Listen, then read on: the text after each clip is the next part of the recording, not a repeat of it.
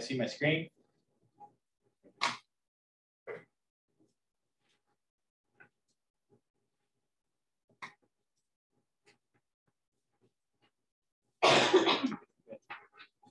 Okay, so uh, we're going to be talking about nomenclature today, and we're also going to be doing chapter 12. So we're also going to talk about types of bonds simultaneously. Okay? So uh, first off, the chemical formula, right? So you guys at this point, you're very familiar with the chemical formula. Now there are, as you guys can remember, we have our symbol, which is typically those one letter or two letters. And then we have the subscript, which tells us the quantity, right? And, and then we have what we call our name. Now we have in the case of H2O, that's water. That's gonna be a common name, right? So you guys should be familiar with two types of common names. So you should be familiar with water, and you should also be familiar with ammonia.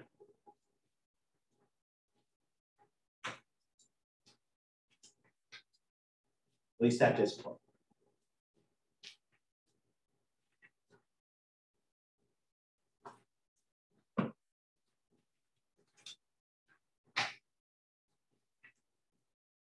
Okay. So we have also talked about different types of bonds. So if we have two nonmetals together, these guys are going to form what we call a covalent bond. Two nonmetals, say two or more nonmetals,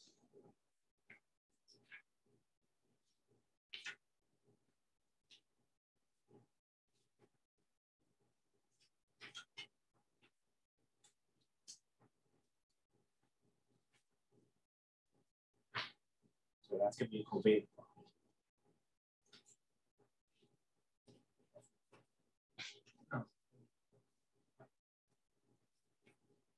Now, if we have a metal and a nonmetal,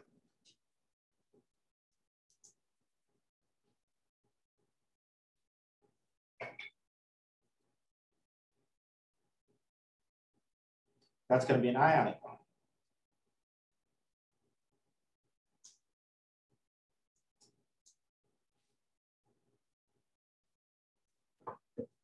Okay, questions? Where is everybody? I was wondering the same thing. That's what I was asking. Are they all gone or something? I know one had emailed me that they were sick, but Traffic. traffic, yeah, could be traffic.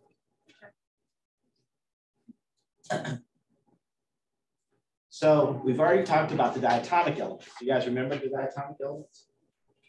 Di meaning two, atomic atom.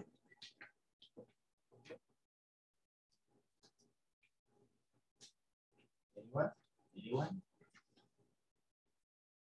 I gave you a nice way of remembering it. Have no fear of ice cold beer. That's right. So have no fear of ice cold beer. Have hydrogen, no nitrogen, fear, chlorine, of oxygen, ice, iodine,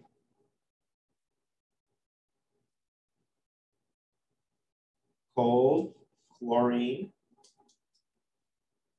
and beer, bromine.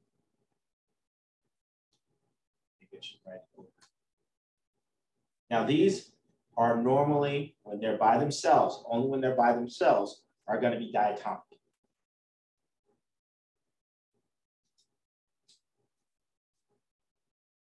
Okay, now I'm going to add one more diatomic. It's going to be a diatomic ion. When we have mercury 1, you always write it as Hg 2, 2 plus, meaning that each of the mercury have a plus 1 molecule. And this is mercury 1. So this is the mercury 1 ion. So anytime that we talk about the mercury 1 ion, we know that it's going to be diatomic.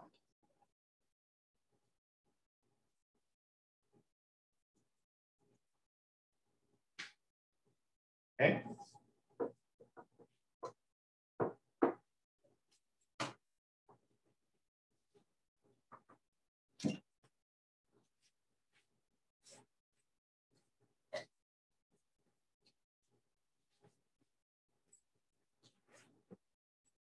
Okay, so this is just showing you where the diatomics are located. From nice little seven, so you know that you have seven atoms that are the diatomic. Right. Except we also have the diatomic ion.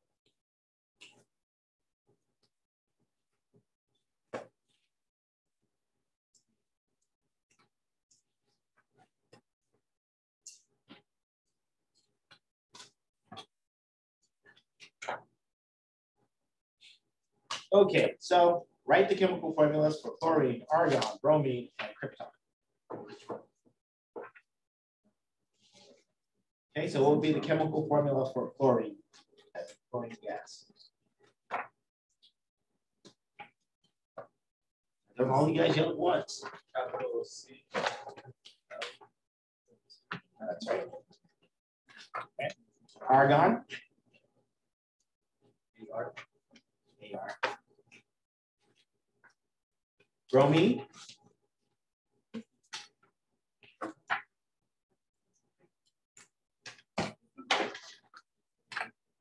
Yes. Sure. Well, you're like, oh, Okay. guys, you, so. Uh, bromine, sorry.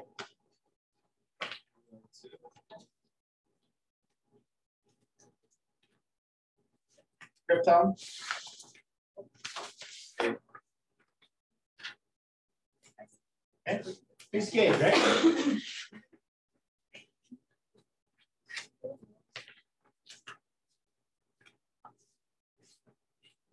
Okay, so you guys have been familiar with the metalloids, with metals, non-metals, and metalloids. Metalloids are gonna have characteristics of both metals and non-metals. So depending on where they're located in the name, they're gonna act as a metal or a non-metal. Okay, so let me give you an example.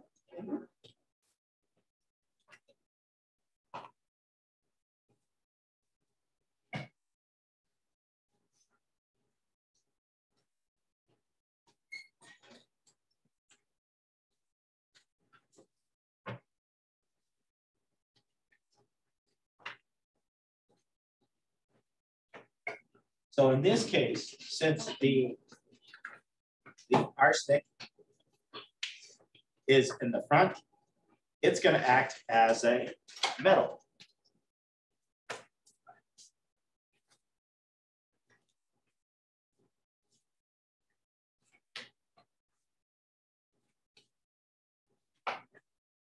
And so since it's gonna act as a metal, it's gonna act like it's a transitional metal. Transitional metals, they have to be uh, dictated by who they're pairing up with, right? So if you guys do me a favor, you have your periodic table packet.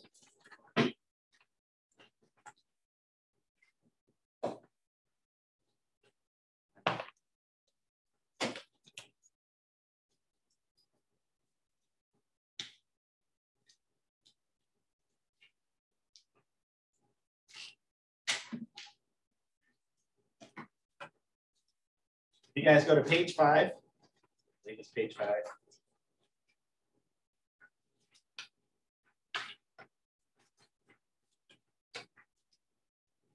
See a table? It's called the polyatomic ion table. So what I want you guys to do is to identify uh, the polyatomic ion that looks like this. That's PO4. If you can tell me the charge that's going to be associated with it, three minus. Okay. So this here is what we call a polyatomic ion.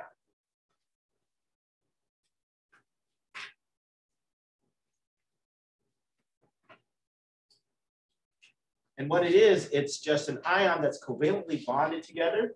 So they're all non-metals, right? They're bonded together and they have the charge that's given there. Now, occasionally you will have a case where you have a metal that's going to be attached to it, um, like chromate. So that's going to be sort of an exception. Okay. Now, this polyatomic ion altogether has a charge of minus three. So if I have this guy, which is PO4, and we have two of those, each one of those have a negative three charge. So what is going to be the charge on the, the arsenic? Now, I didn't say this, but I'll say it now.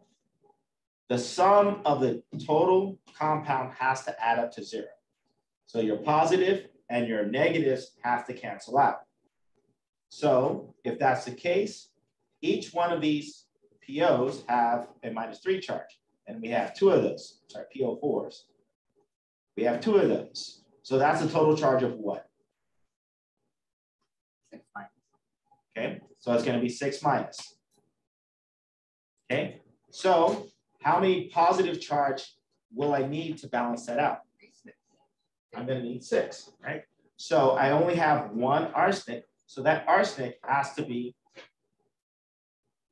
six plus.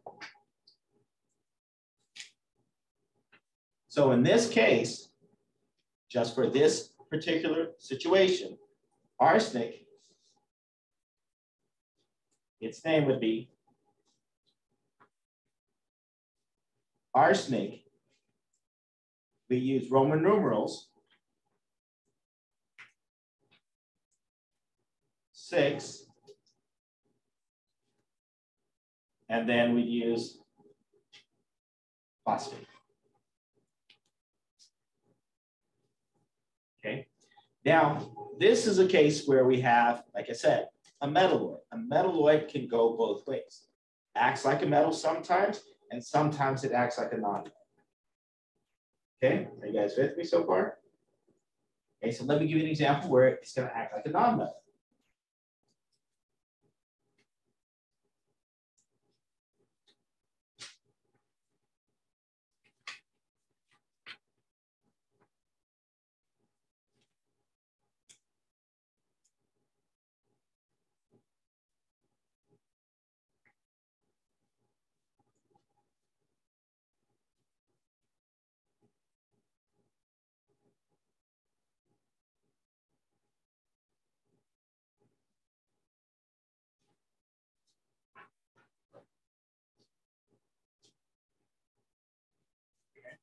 So now, since we have arsenic in the back, arsenic is going to act like a nonmetal. And so in this case, you're going to try to be like a noble gas. Arsenic is going to try to be like a noble gas. How far is it away from being a noble gas? Based upon our periodic table. Periodic table.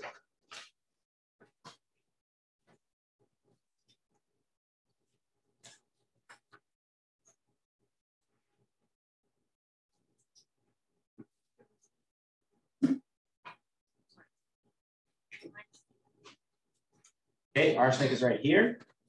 The nearest noble gas is krypton. So that's one, two, three. So if we add three electrons, it's going to be like krypton. So the charge on arsenic is going to be three minus, that's right. So in this case, arsenic is going to be three minus.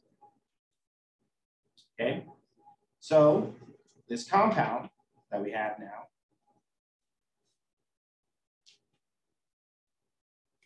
is going to be called sodium arsenide. Okay. So when it acts like a minus, we put IDE at the end of it. It also tells us two things. It tells us we're at the end of the compound and also that it's the anion. And we have our cation and our anion coming together. Okay. Questions? Questions? What Okay. slide are we on? Slide. uh, The one that has metalloids. 10. I just go through them. I don't care.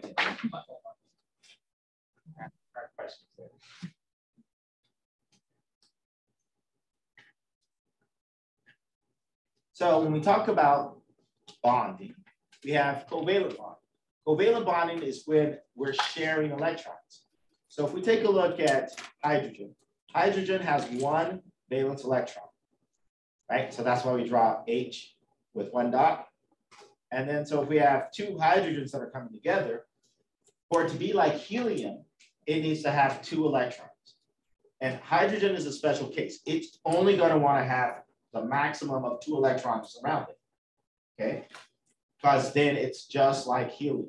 Because we know that helium is the noble gas in that very first period. And it only has how many electrons? It has two. And so hydrogen is going to want to be like helium and have two electrons. Okay. So if it's covalently bonding, sharing electrons, it's going to make sure that it has two. It's going to share so that it ends up having two electrons around it.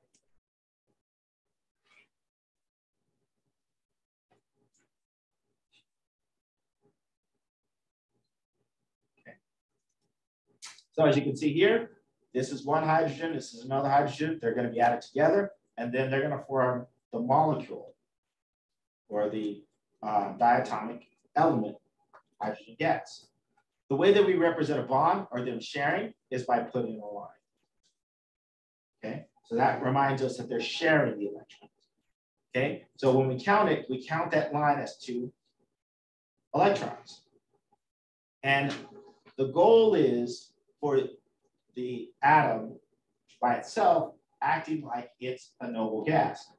So it reaches its, what we call, in most cases, it's octet, but in this case, this one is just gonna have two instead of eight, right?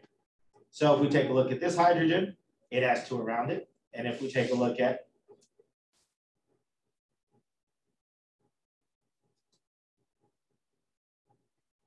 at this hydrogen, it has two around it, okay?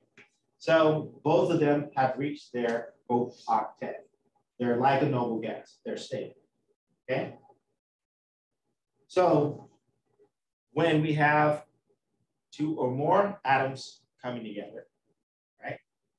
Two or more different atoms, so two or more atoms coming together in general, it's a molecule. Two or more different atoms are going to be called a compound.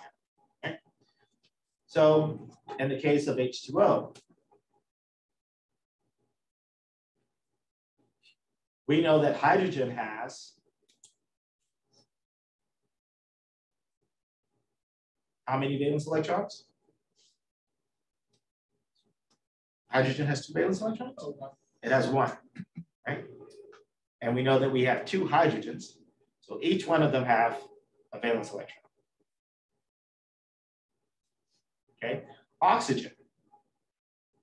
Oxygen has how many valence electrons?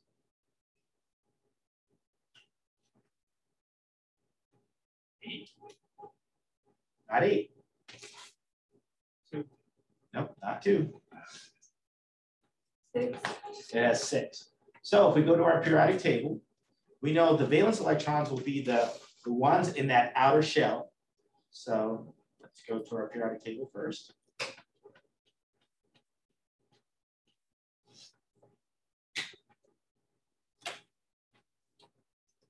So we're looking at this outer shell here. And what we're going to do is just going to count just the S and the P. Where's the S located at?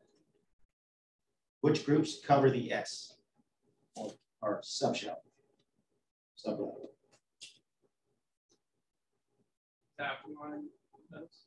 And you said alkaline and which other group? So the second group and what other group? The alkaline, the first group. So the first and second group represents the S, right? So where's the P represented at?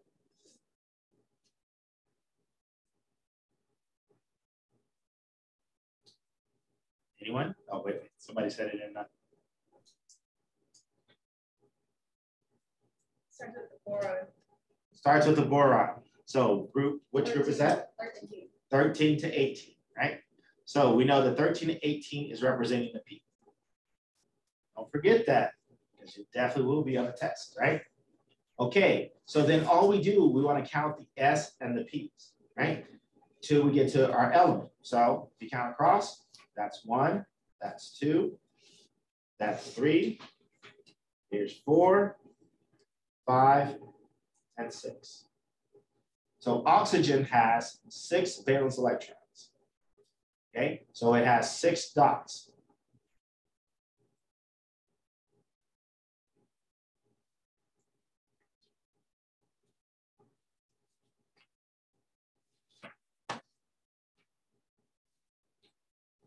Okay. So if we take a look at our hydrogen, first off, I'm showing you how to draw a Lewis dot structure.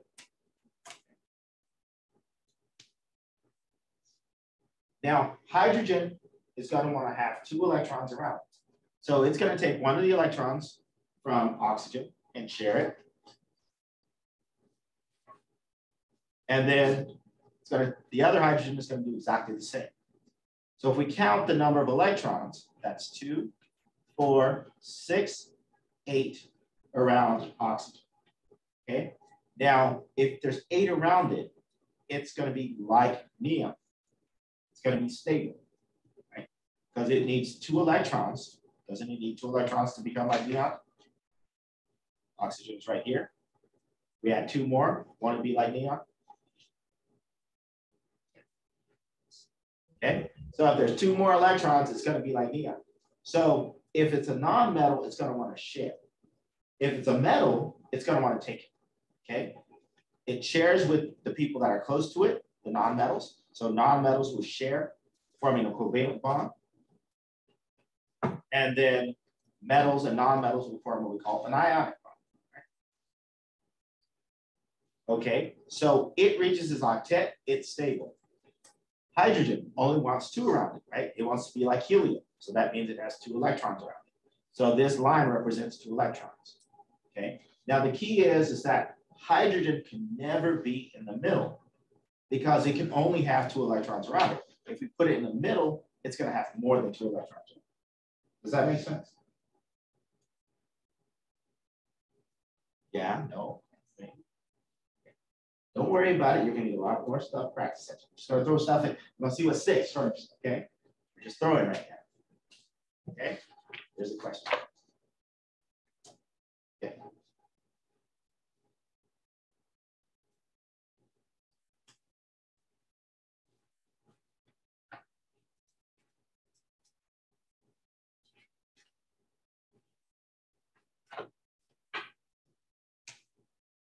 Okay, so the thing about nonmetals, nonmetals, they're not good at, I mean, uh, non, yeah, nonmetals, nonmetals or compounds or covalent compounds, they're going to be really bad at conducting electricity. In most cases, they do not conduct electricity. Where ionic compounds, when you put them in water, they're going to be able to conduct electricity. But if we don't put them in water, they won't conduct electricity. so ionic compounds can conduct electricity when they're put in water. Covalently bonded compounds don't conduct electricity. We'll do a little test here in a second so you guys can see that. Okay. You guys do me a favor, give me the batteries. That you know, you know this. Okay, now covalent bonds, really what's happening is when I say they're sharing, what's really happening is that their electron clouds are overlapping.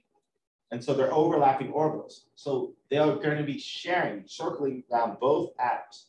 So in the case of water, you're going to have one of those electrons that are between hydrogen and oxygen. It's going to be circling around both of the atoms of hydrogen and oxygen. And that, that same thing is going to be happening on the other side. I'll show you a figure of this, a figure of this in a second. Okay.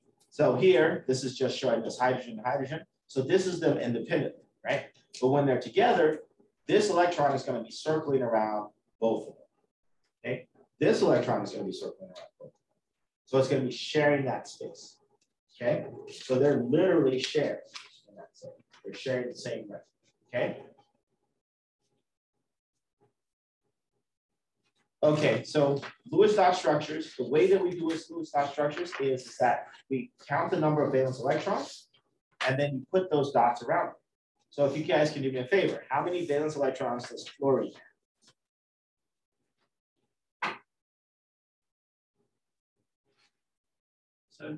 Seven. That's seven, okay? So since it has seven, I put seven dots around it. So if I'm making fluorine ga gas, which we know is a diatomic, each of the fluorine atoms have seven electrons. They want to get to the point where they have eight and be like neon. So how many electrons must be shared between each one of them?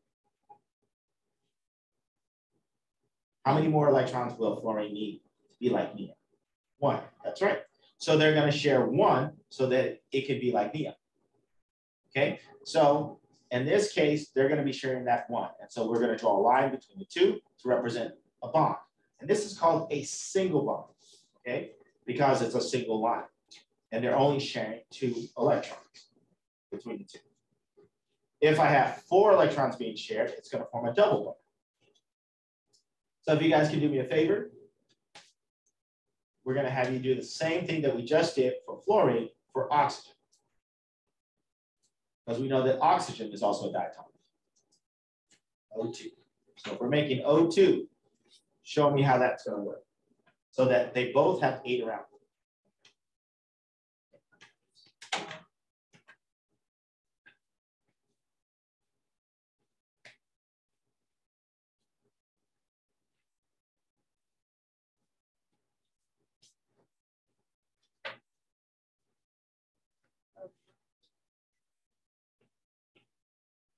There should be some in there. Oh,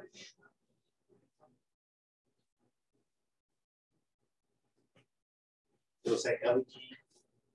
Look for LED something.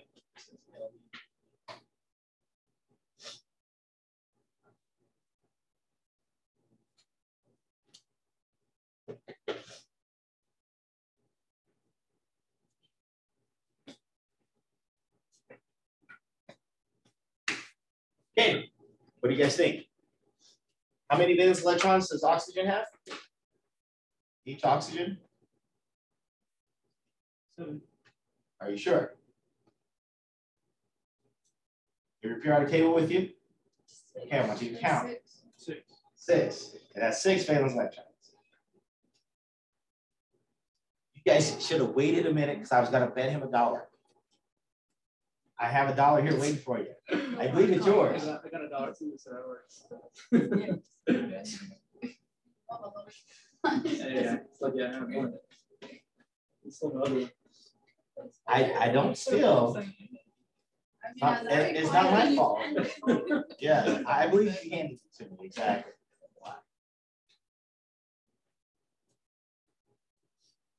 Okay, so how can I move these electrons around? So the first thing that I'm gonna say is, the best way of doing it is by counting all of the electrons that we're working. with. So each of them have six, that's a total of how many valence electrons? Twelve, so we have twelve valence electrons. So we have twelve valence electrons to work with, because we know that electrons are mobile. They're gonna be constantly moving, right? So since they're mobile, they can move any way that they need to move to sit there and make it work, so that they're sharing appropriately. So how can I set this up so that I, I'm sharing so that I have eight electrons around each of the different oxygens? With the ele- two electrons in the middle. Okay, so you're just, just two. So we'll do that. We'll take these two and we'll put those in the middle. Okay, so let's count. That's two, that's four, that's six around this oxygen. So does that work out? But if we look on the other side, that's two, that's four, that's six, that's eight. So that works out for that side, but not for the other. So what else can I do? Take the other two and make another bond. I'll take two from over here Right. Okay, and I'll put that in the middle. Okay, so then that's two, that's four, that's six, that's eight. That works out for this oxygen. That's two, that's four, that's six, that's eight. That works out for that oxygen. So both sides are happy. Okay. So this is an example of a double bond. So this is a single bond. You're looking for the little ones? They're there. They should be up at the top. Yes. The very, the very, very top. No, in that box. Yeah, check that box.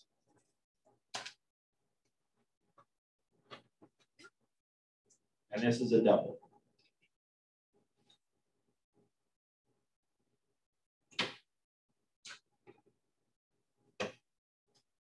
Okay. Pretty simple so far. Okay, let's do it for nitrogen.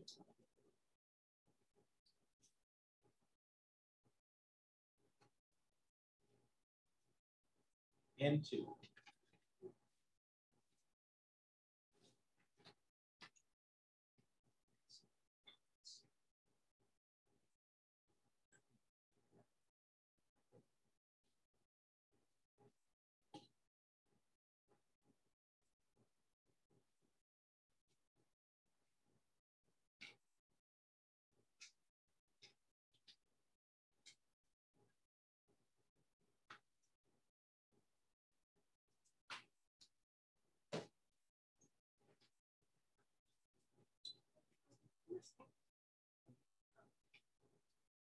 Do me a favor, get salt and sugar, and we're gonna need a still water. What was that?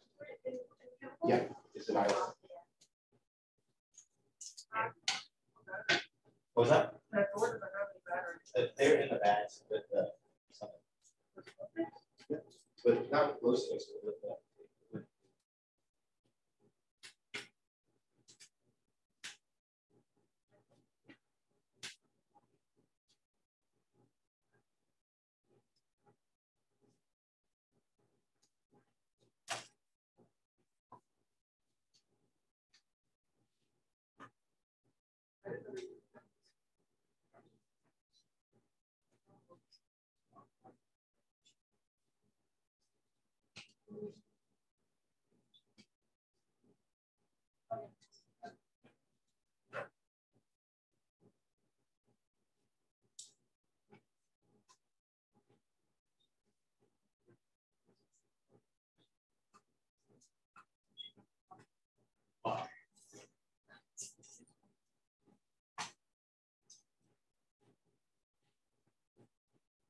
Okay.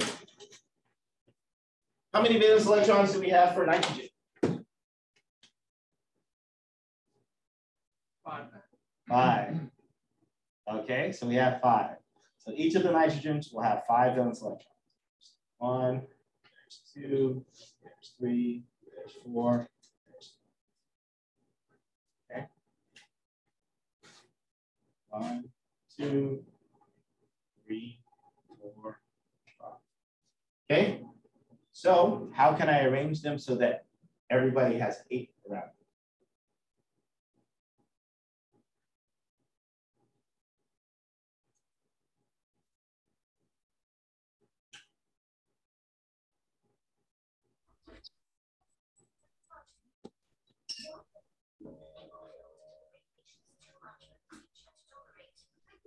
Do the same that we did for the oxygen? Okay, so you're saying put two. So we're gonna take these two, that'll be one. And then let's take this one here, we're gonna move that over here. So trace these out. Put another one in between. Okay, so if we count, that's two, that's four, that's, I'm sorry, two, four, six. So that's six around there. So is that eight? Is that gonna work? No, it's not gonna work for that one. Okay, so what else do we need to do? What else can we? do?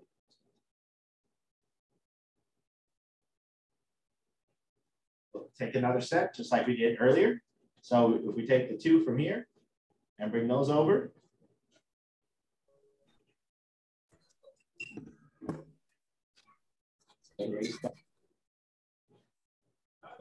Two,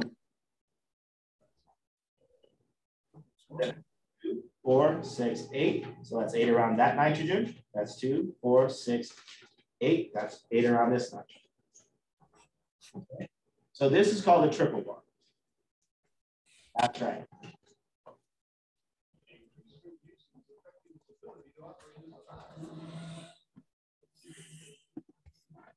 Now, a triple bond is the maximum bonds that we're gonna have between two atoms. We can't have a quadruplet bond?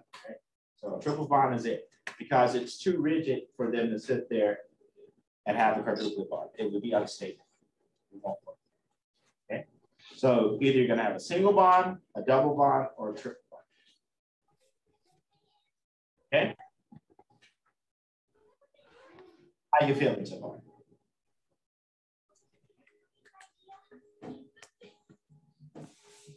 far? A lot more. Okay. So when we talk about, let's go back to that nitrogen.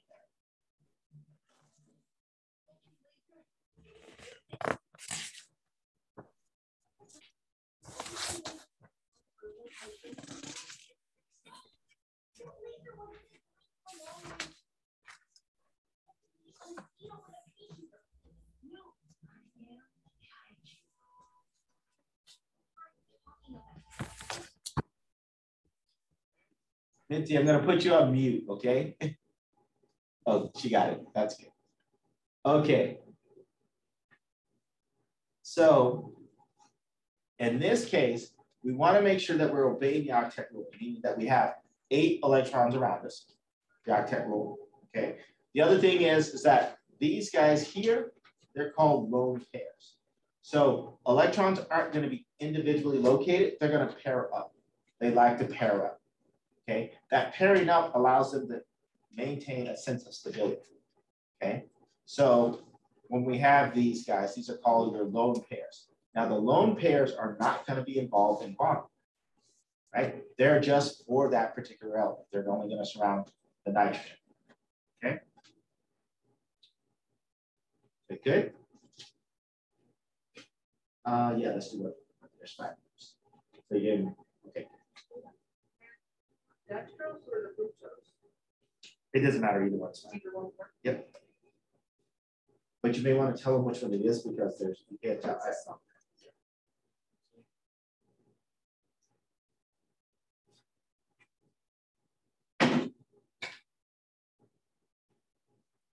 Okay.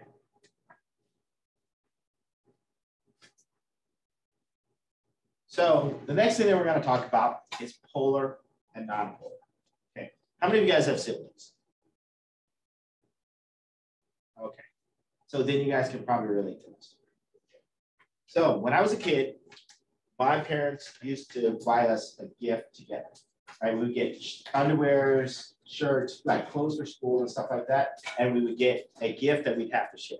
Usually that gift was a nice gift. We weren't real, you know, rich. We didn't get our own PlayStation or our own TV. It was things that we had to share. So we got an Atari one year, right? And so my mom says, okay, I got you guys an Atari. So you guys have to share it. And so my parents, during that break, Christmas break and everything like that, they both worked and everything. So actually, my dad was actually both, but my mom was working two jobs, and so she'd come home and go back to her other her other job to that time period. But she said, you guys got to share. So, but the rule was is that we can only play the Atari after the house is clean. So what I would do was is that I would sit there and I get my sister to do the cleaning of the house and everything like, and then I play the Atari, right? And then they couldn't cook. I knew how to cook. I had to cook dinner. So then what I do, I wait, time it just right, and then uh, I'd start cooking. And then, you know, I'd come out and everything like that. And my mom would walk in as I'm finishing cooking and getting everything on the table. And then she's like, oh, she's just, you've been working all day. The house is nice and clean and everything. Why don't you sit down and play the guitar? And then so, and I let my sisters play just right before my mom got there. Right. And so it was sharing. Right. And so what my mom saw was that me sharing with my sisters, letting them play while I cleaned up the house and everything like that. She didn't know I played the whole day, right? So isn't that sharing? No. Why isn't it sharing? Didn't they get to play?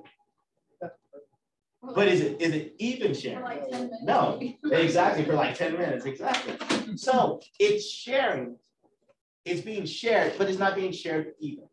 Okay. So when we talk about something polar, we're gonna have uneven sharing. Okay, we're gonna have uneven sharing of electrons. So in the case of water, we drew that that that Lewis structure earlier, right? H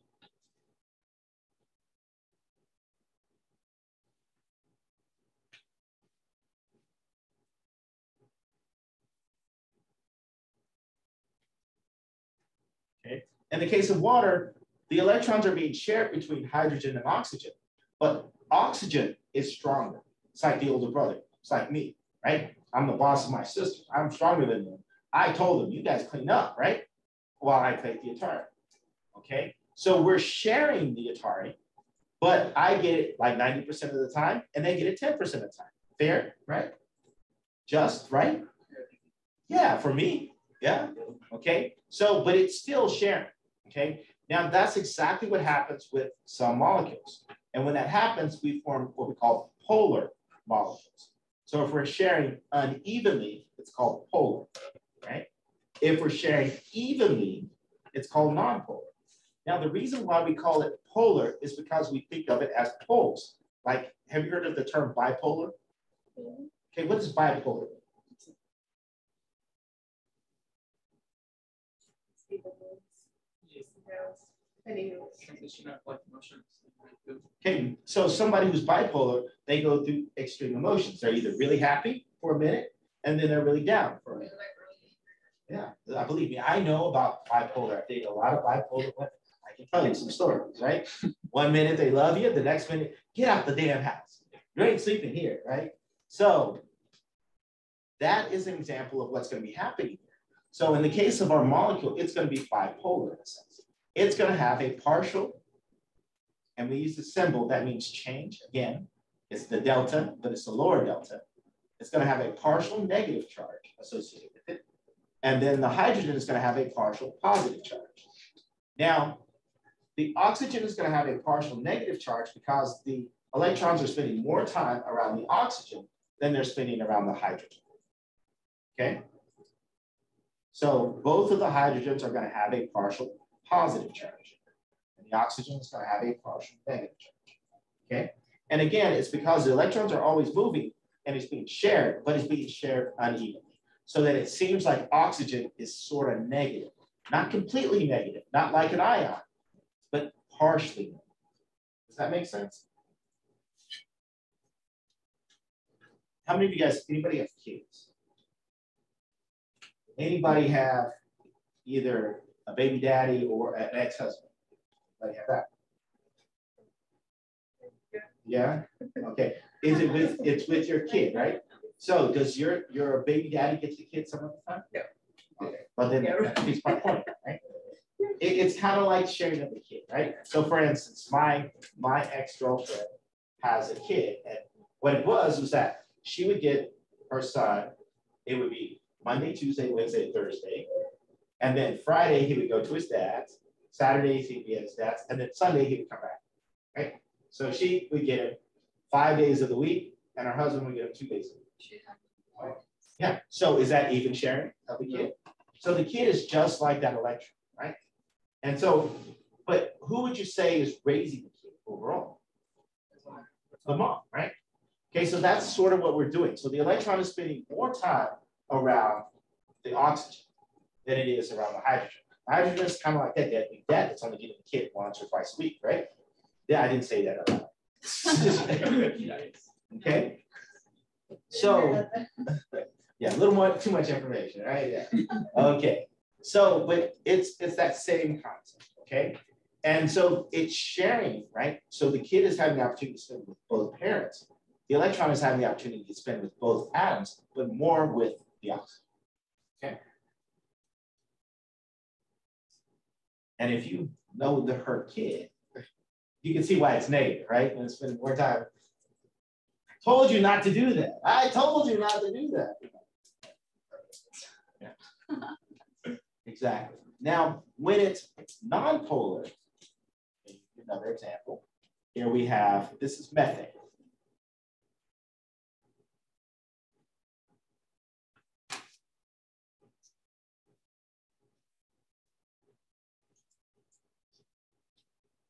Okay.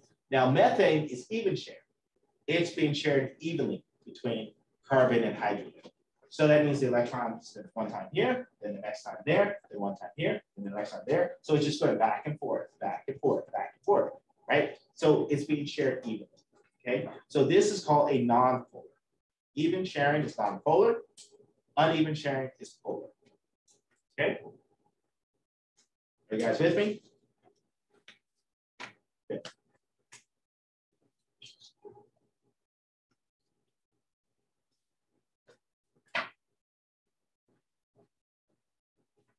This is just basically showing you what I just told you, right? So this here is considered non-polar. You have even sharing. This here is considered uh, polar, right? Because in this case, it's making it bigger because it's spending more time around Y and less time around X. Okay?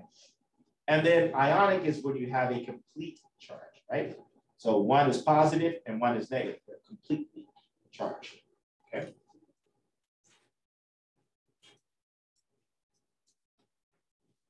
Now, the way that we determine who's going to get the hit most of the time, or the electron most of the time, is sorry, just it's having that, right? Is by electronegativity. The term electronegativity means that it's the element that wants to have an electron next to it. It has a strong affinity for electron. So it has a high electron affinity. It wants an electron, okay? So typically you're gonna want an electron if you're really close to being a noble gas. So halogens, where are the halogens located? Give me the group. When I say group, I want the group number. 17. 17. How far are they away from being a noble gas? One. They're one away. So do you think they're gonna really want that electron? Yeah, they're gonna really want that electron, right? So they're gonna have a higher electronegativity than let's say their neighbor. So who's who's next to fluorine? Neon. Well, that's the noble gas next. to. Oh, On the other side, oxygen. Okay. So oxygen is two away. Now it's going to have a high electronegativity, but it's not going to be as high as fluorine.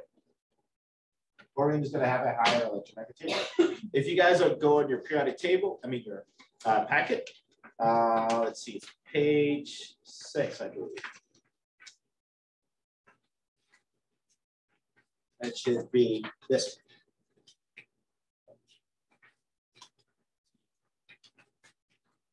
Figure 12, 15. Okay, so this is your electronegativity table. It lets you know who has the highest electronegativity. If you take a look, fluorine has the highest electronegativity. It really wants an electron. Fluorine is going to be the small, smallest atom, one of the smallest atoms, but it's going to be like a little tiny, a little Napoleon. Okay, it's going to really want that electron, so it's going to do pretty much anything to get it. And so when it's sharing, it's going to pull the electron towards itself more than any other element. So if you have oxygen and fluorine sharing, it's going to pull it towards itself. Oxygen is going to be shit out of luck. You know, it's like, oh, you get a little, you get it a little bit at a time. You're not going to get it much, okay? Because it's so strong compared to everybody else. Now, the way that we determine the way uh, the electronegativity is going, who's going to get the electron more or less, is based upon bonding, right? Based upon its uh, electronegativity and its bonding. Okay, so let's say again, we have fluorine and oxygen that are going to be bonding together. Okay, now if those two are going to be bonding together, so the way you determine who's going to get the electron the majority of the time, whether it's going to be a an electron, uh, it's going to be covalently shared, uh, a polar covalent bond or a non-polar covalent bond is by the number or, or the difference between electronegativity. So you take the one that has the highest electronegativity. In this case, if you look on that table, what is the electronegativity of fluorine? Okay, it's 4.0. So you take the one that has the highest, and then you subtract the one, the other one. Okay, so oxygen has what? 3.0. So then that's going to give us a value of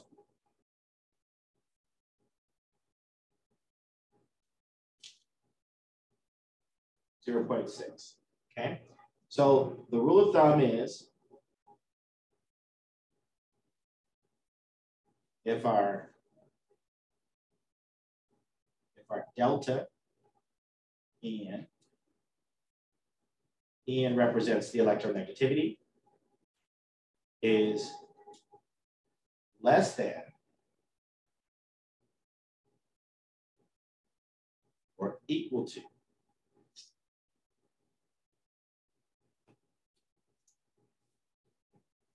Less than, sorry, less than zero point five.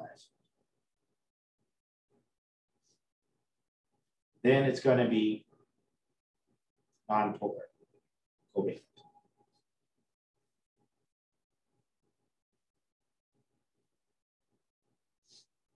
if our our delta En is greater than or equal to 0.5, but less than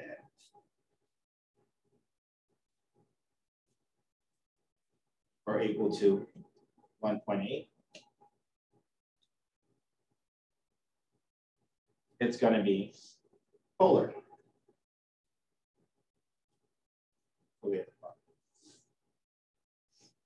And then if our EN, our delta EN is greater than 1.8, it's going to have ionic character.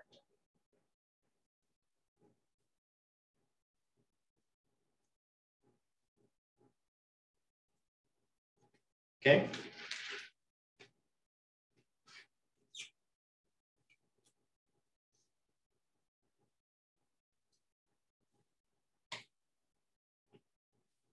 Okay, so we have 0.6. Is that going to be non-polar, polar, or ionic character? Polar. Polar. Okay, now do me a favor. Let's say we have a bond between carbon and hydrogen.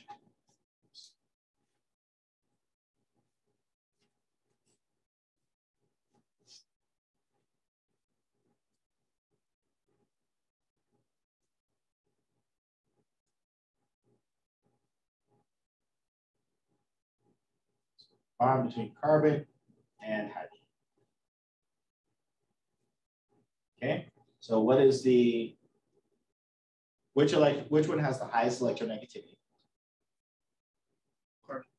Carbon, okay, and it's what? 2.6. 2.6.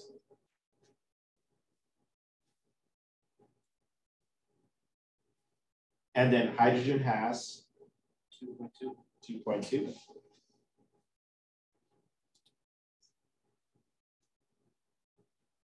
Okay, so that's going to equal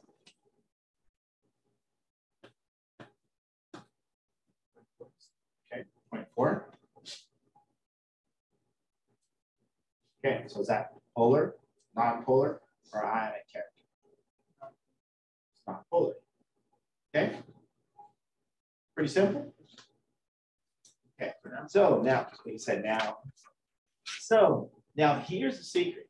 Now, when you have elements, you're always going to have, let's say, more than two elements, right?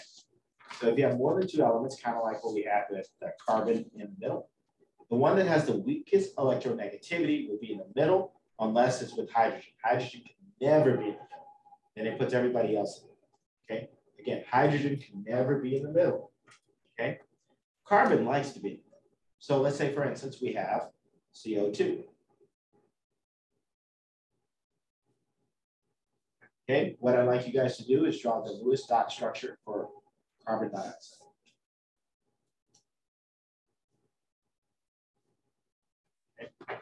First off, determine who's going to be in the middle. Right? Just confirm it.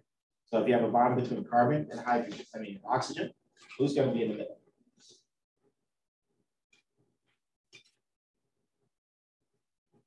C and O.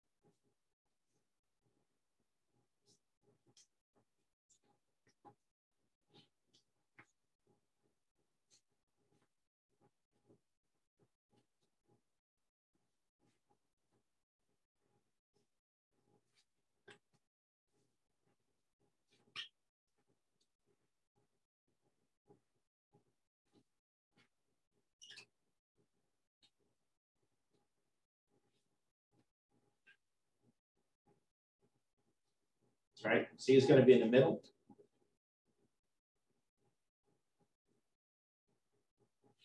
Okay, and we figured that out by oxygen has 3.4. Carbon was 2.6. That equals 0.8.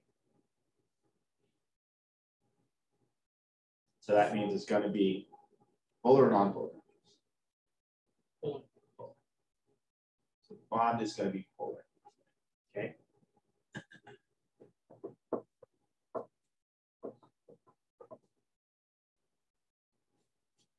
So we're going to be putting carbon in the middle. It has a weaker electronegativity. So always the weak guy goes in the middle. Again, I like to think of my sisters. Until they got to a certain age, I always put them in the middle. I'd always be on the outside. Nobody wants who wants to sit in the middle. Anybody like sitting in the middle? Yeah.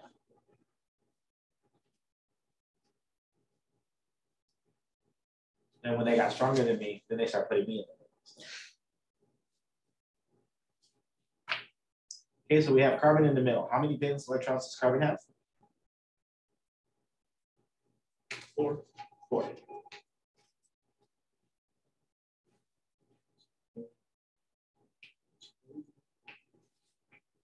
There's four. Okay, so I have four valence electrons. Okay, so then oxygen has how many valence electrons?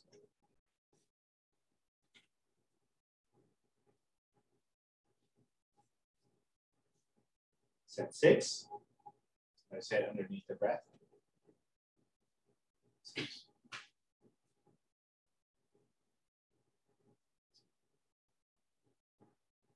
Three.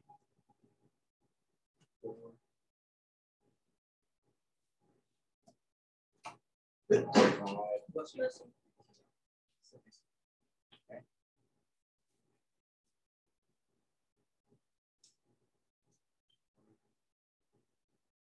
Two.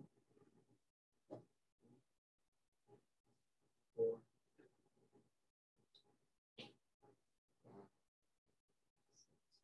Okay, so what can I do to, so that everybody has eight around?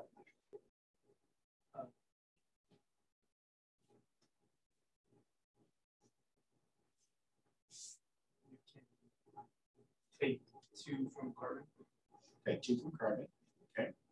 Got the two from carbon, and then Take four from oxygen. So a triple bond is what you're saying? Yeah.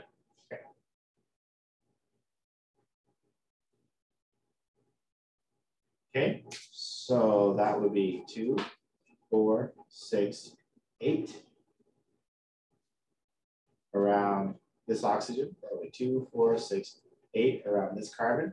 Are you saying a single bond here? There? Like this?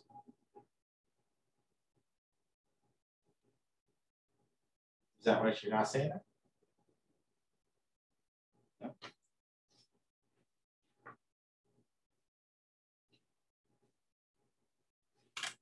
But that would technically work, yes. Two, four, six, eight, 10, 12, 14, 16. So if we think about it, we have six plus six plus four. That equals 16. All right. So that's two, four, six, eight around this oxygen. That's two, four, six, eight around this carbon. And then that's two, four, six, eight around this oxygen. So yeah, that would be one possible. If we we're just looking at the octet. Okay, is there any other way? Take away two from each oxygen. Take away two from each oxygen and then have two bonds in the middle. So if we do like this.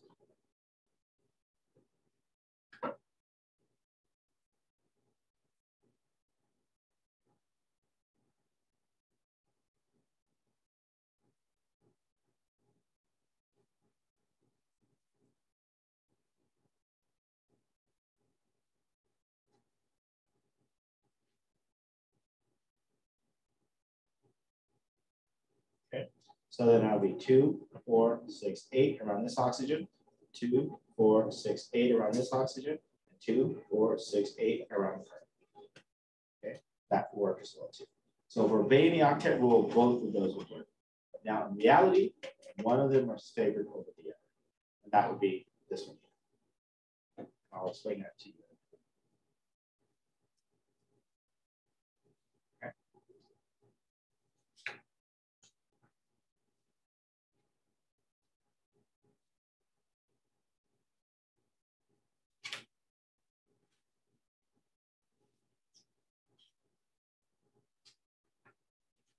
Okay, so there's this term called formal charge. Formal charges tells us when we have the possibility of having multiple ways, right? They're going to exist in nature. Both of these ways. This way is going to exist in nature, and this way is going to exist in nature. But one is going to be favored more so than the other. The way that we determine which one is going to be favored is by calculating its formal charge. The way that we calculate a formal charge is it's going to be number of valence electrons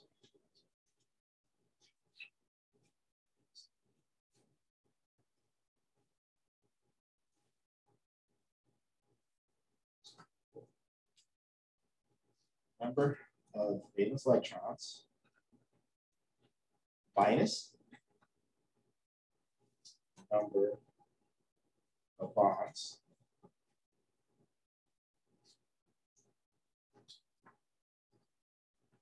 minus lone pair electrons.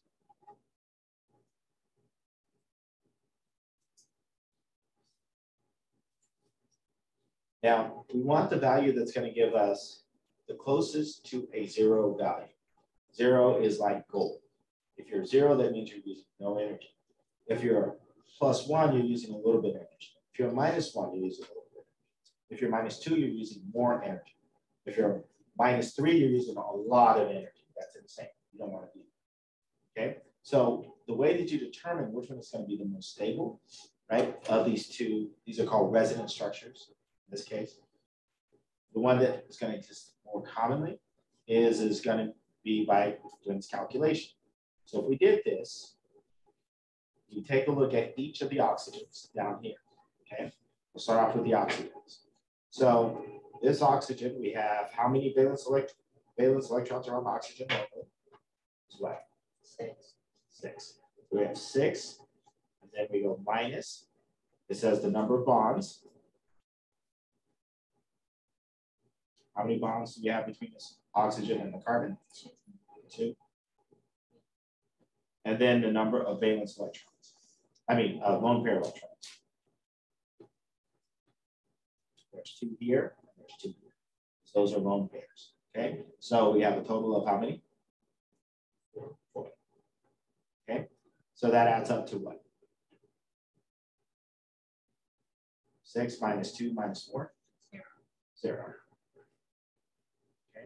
now we do the same thing over here. It's exactly the same number. So it's also going to be zero. And then you do the same thing with the carbon. So this is for the oxygens. And then this is for the carbon. Okay, so carbon has how many lone pair? I mean, how many valence electrons?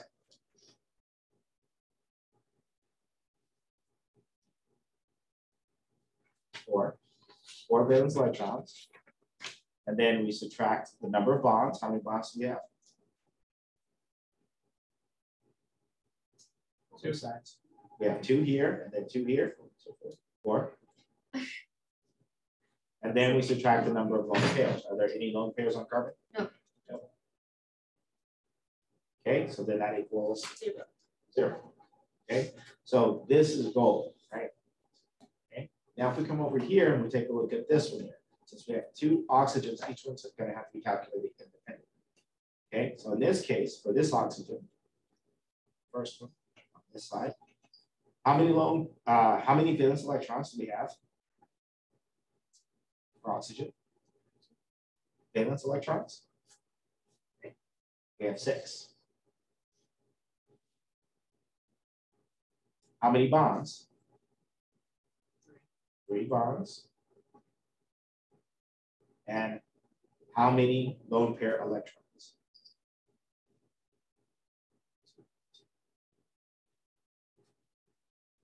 Okay, six minus three minus two.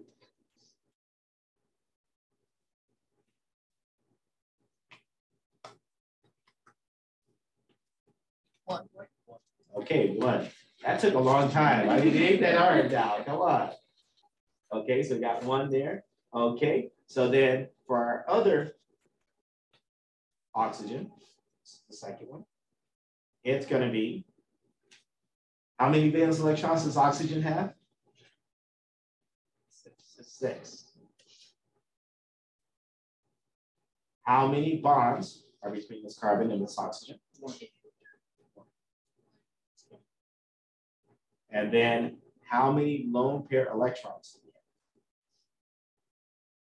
have? Six. We have six. Okay. So we have six minus one minus six.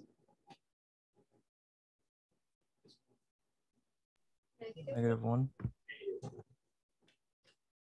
Okay. So this structure is going to be more stable because everything is zero. This one is going to be less stable because you have one on one side is plus one, on the other side is minus one. right? So it's going to be less stable. So this is the one that's going to be seen the majority. Okay. That's it. So that again, that's called formal charges. If you guys typically, if I put it on the exam, it's extra credit. Five points. Okay.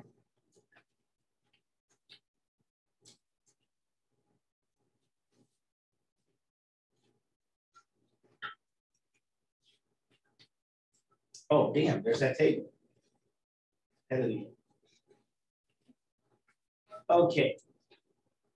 So I told you how to use this table, so you guys are getting ahead of the game. We've talked about single bonds, double bonds, and triple bonds. We're really ahead of the game. We've talked about how to do little structures. So if you guys don't mind, well, we've already done it, so. I said night, uh. But something instead to uh,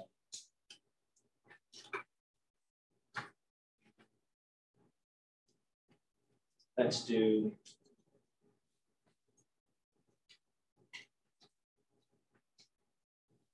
into oh sorry I totally forgot about that. Are you gonna try to sell one to a high bidder? You did, you you didn't want just. No one else. Yes, at my class tomorrow.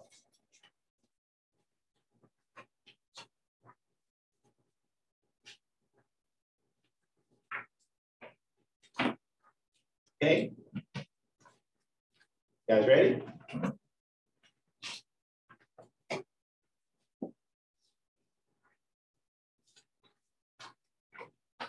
Gonna go to the whiteboard. You guys want to go over here? This. No yawning, it's not allowed.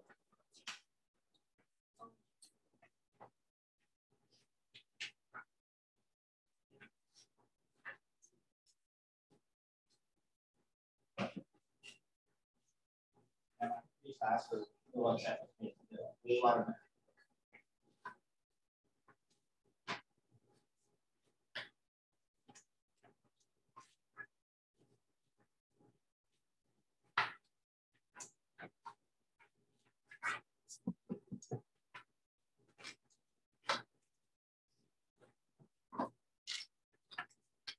Okay. Who's gonna be in the middle? Always gonna be the one who has the lowest electronegativity. Who has the lowest electronegativity? Nitrogen. So we're gonna put a nitrogen. How many valence electrons does nitrogen have? One. One, two, three, four, five. Okay? Oxygen on one side and then have the other nitrogen. Five. How many valence electrons does the uh, oxygen have? Six. Six. One, two, three, four, five, six. Okay, so we add together, we have five plus five is ten. We have a total of sixteen electrons. Okay.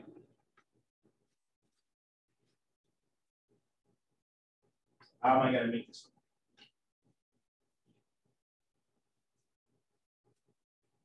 Everybody has eight left.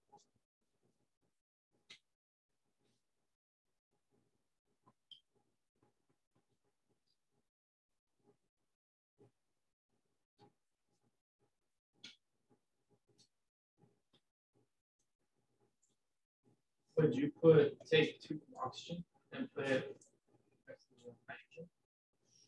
Okay, so I take two from the oxygen.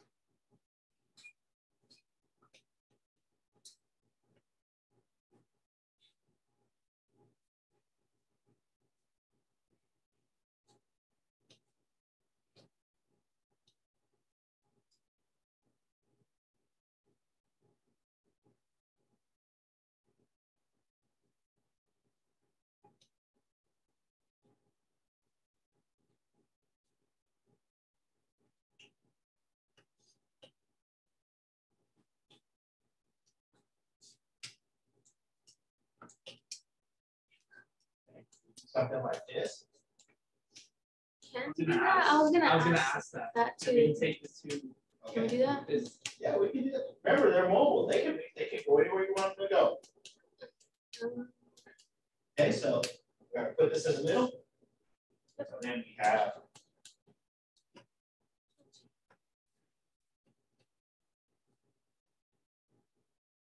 On over here. Okay. Then you just take these two. That work? Okay. Let's make sure that we have a total of sixteen electrons. That's two, four, six, eight, 10, 12, 14, 16. Okay. Got enough electrons. Check. Do we have eight around this oxygen? Two, four, six, eight. Yes. We have eight around this nitrogen. Two, four, six, eight.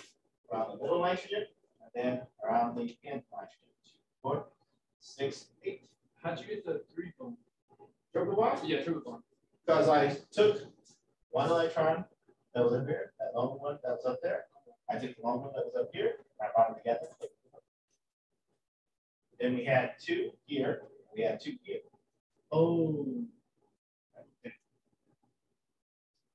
Okay, so does that work? Everybody sees it? Okay, so this is one possibility, right? So let's look at its formal charge. Okay, so let's do the oxygen first. Oxygen. So what is the, how do we calculate formal charge again? Just tell me, I'm writing it up here so everybody can see. Formal charge equal to what was that? The number of. Number of valence. Valence. Track bonds. minus bonds. Minus The lone pair electrons. number of lone pair electrons.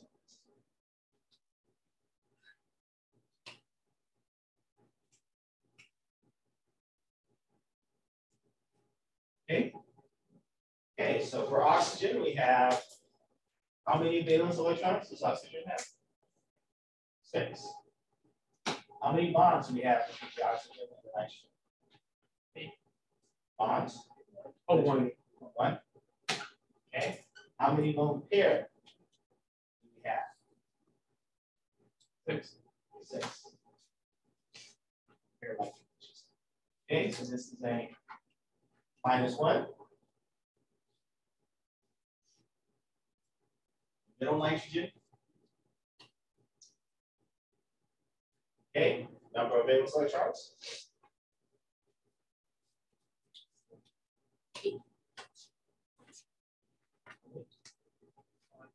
Five.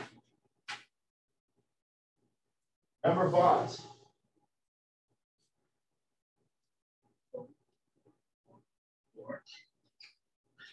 Number of lone pairs.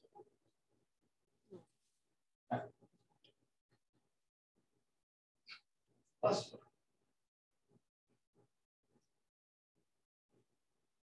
Okay. The nitrogen on the end.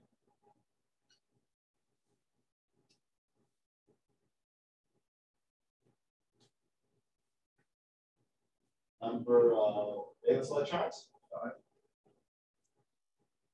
Number of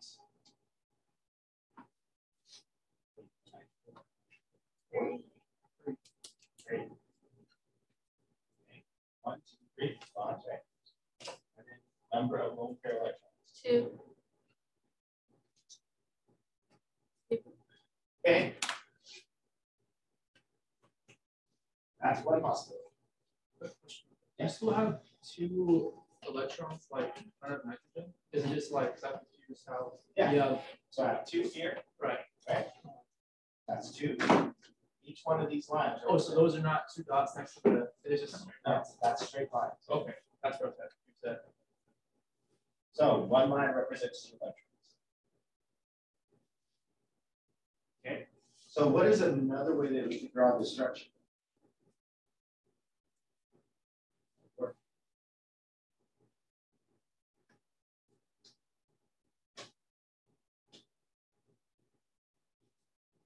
Add another bond between oxygen and.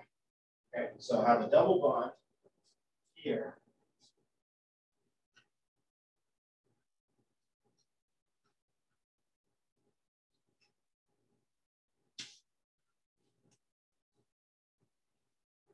Okay. So if we did it this way. Oxygen.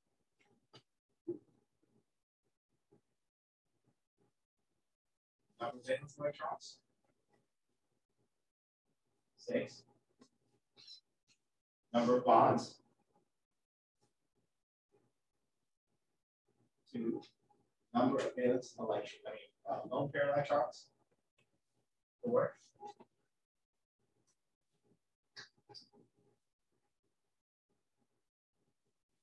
Okay. Nitrogen. Middle number of valence electrons, number of bonds, Two. Four. number of lone pair electrons.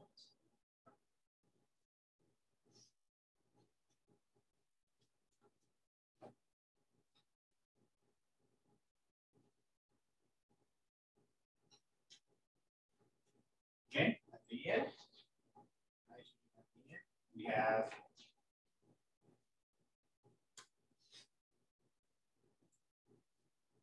uh, uh, number of valence electrons, five. Number of bonds, two. Number of lone pair, Three.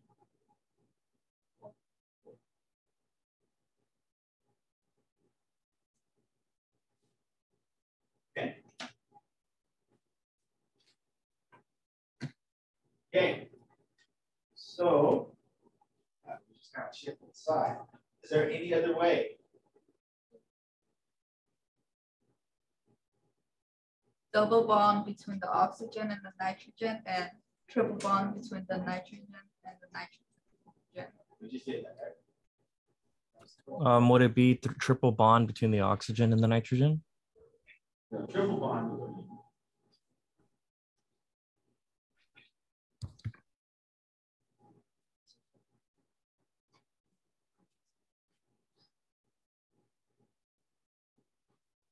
Okay.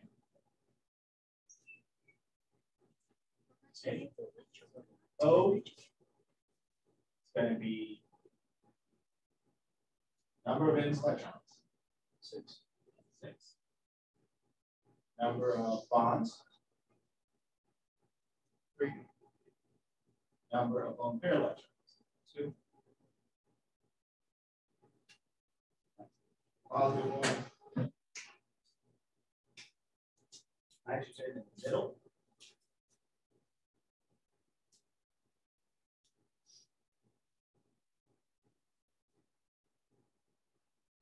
Number of valence electrons. Five. Number of bonds. Four. Number of lone pair. None.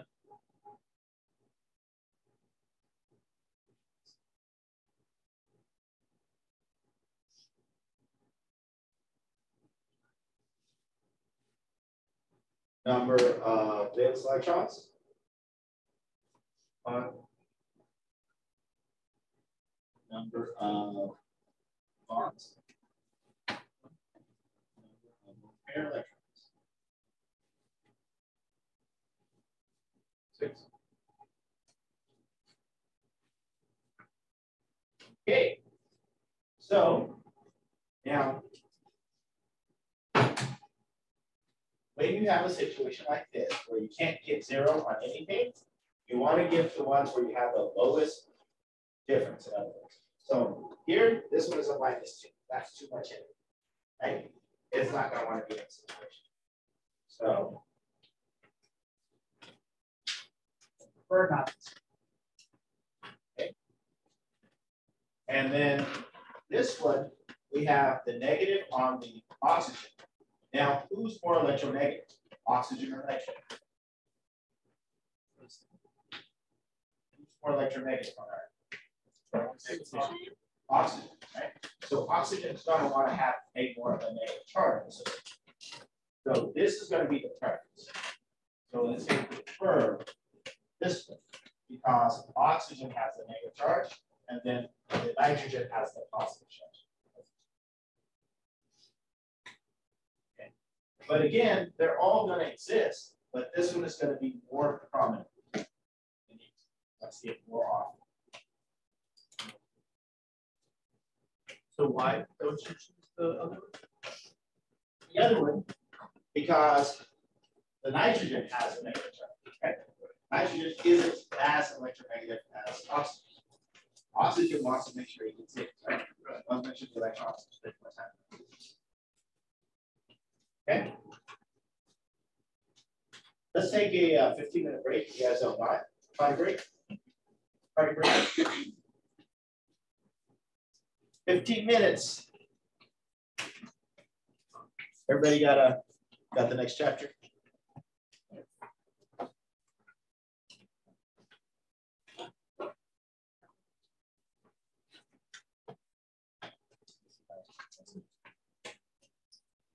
Okay.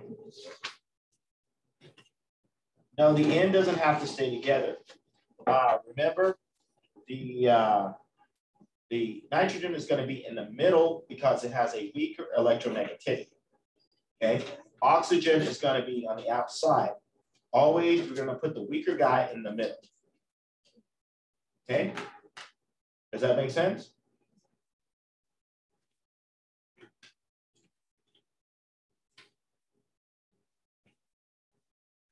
You said it goes in the middle because of the electronegativity? That's right. The one Okay. weakest is going to go in the middle, except for hydrogen. Hydrogen can never be in the middle.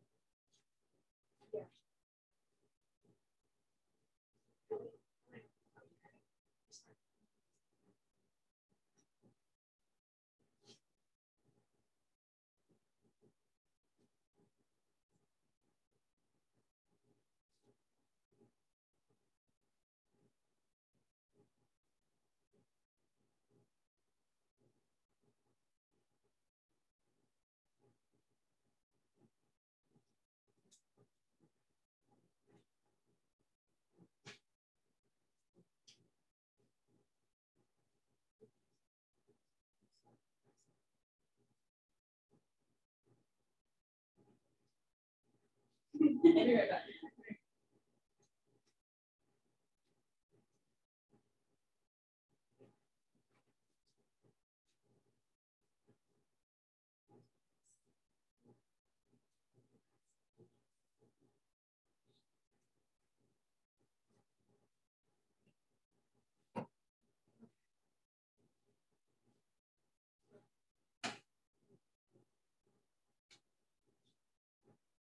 three electrons here. So you're actually writing. the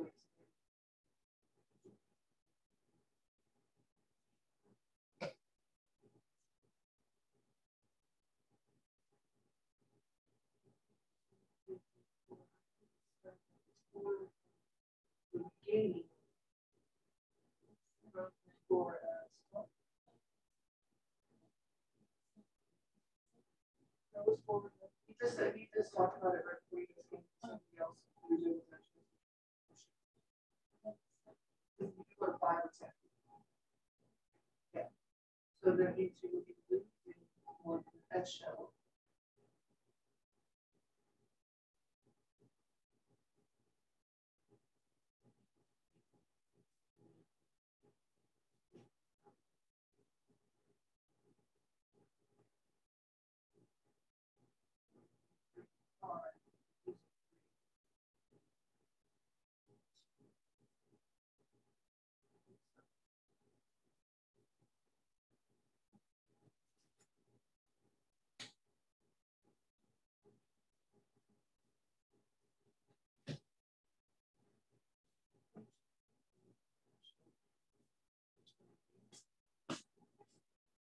What's that?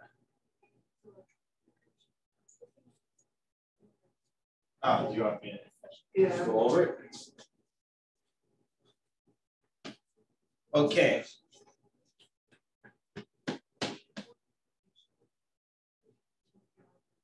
Or, I think you want nine. So I'm trying to hit clear so we can clear out the, the screen. You know, it will only, you will, you will only take it to one side. It's been a long day. Uh,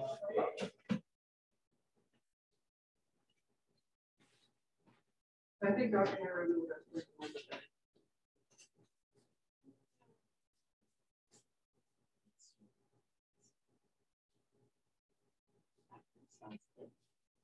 of. Okay, so I'll give you the reason why. I'll show you everything, but let's start off with, let's say we have silver, Oh, I tried doing that, yeah, that wrong. AG. So we're doing electron configuration of silver. Okay, so I want you guys to help me out. Hold. Higher. Okay, so how are we gonna start out?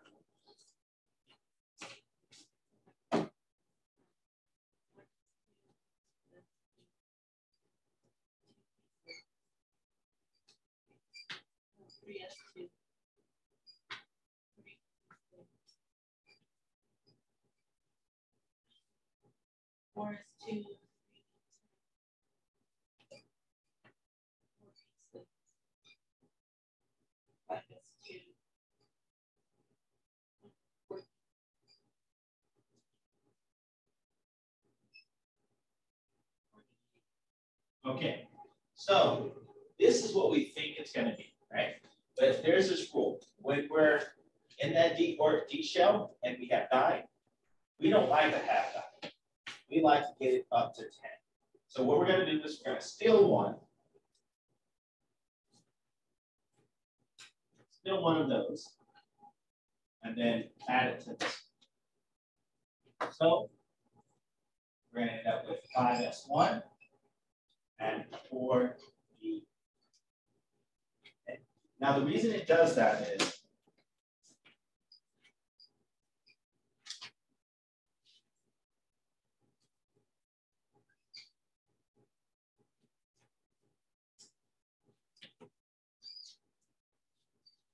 the 5S. This is the 4D. Okay. So these are the orbitals. So these guys are really close together in terms of the energy level. And what it's determined is, is that it'll actually act as if it's putting in the electron in all of those first, right? All the way across. And then instead of coming back down to there, go ahead and fill this up. Because it's better to have these guys completely full and paired up. It's lower in energy. So it actually drops this energy level. Then coming back down over here, putting the one.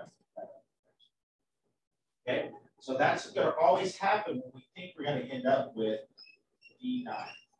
Or if we end up with D4.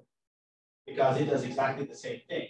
It wants to have at least one in each one of these in the case of the D4. So to steal going take away from this guy and bring it over here. Okay. For stability purposes. Okay. So if you think you're going to up with D4 and D9, it's going to steal from that S. And then so that this would be 5.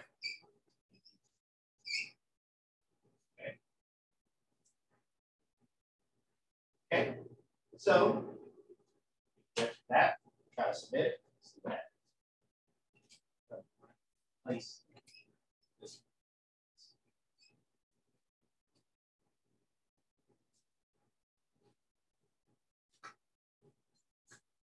Okay.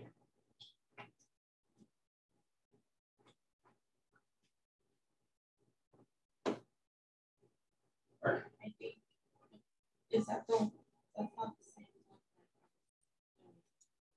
Because Didn't work with copper as well. That was probably the one that's removed. Yeah. No, yeah, because the one that I had was the, Chromium, that's, this one is the one that I already maxed myself out on. okay, so I'll, not- I'll, I'll give you guys. a couple more. So in that case, it's gonna be the same case, right? The only thing is now you're taking away the electron. Okay, so remember when you're taking away from the electron, you go to the farthest shell out, right? So, in other words, your period, you're gonna look at the period, the number that has the highest period. So in this case, this is the electron configuration right here. So in the case of AG plus, still gonna be the same thing here.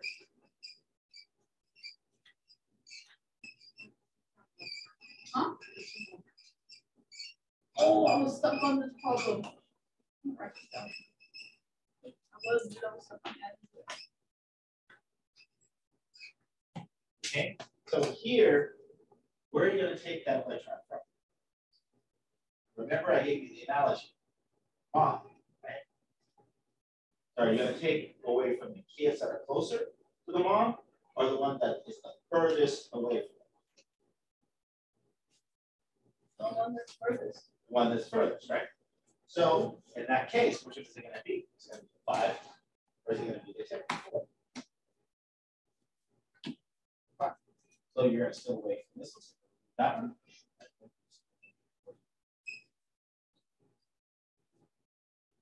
Okay. So I'll give you guys a couple more trials.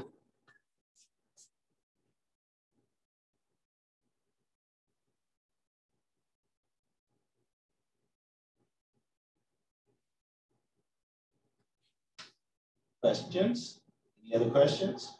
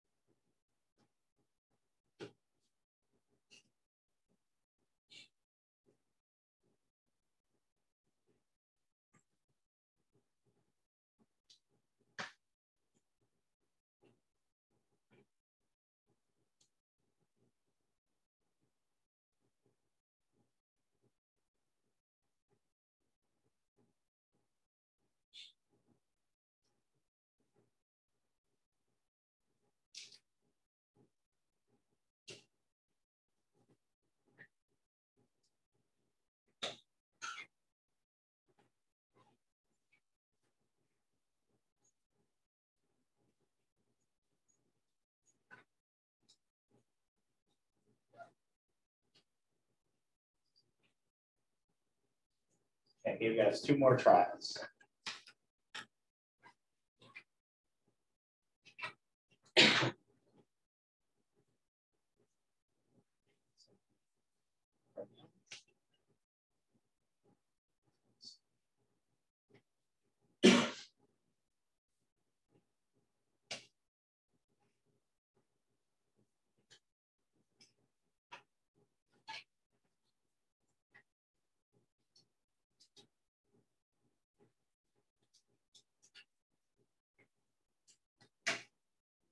Okay.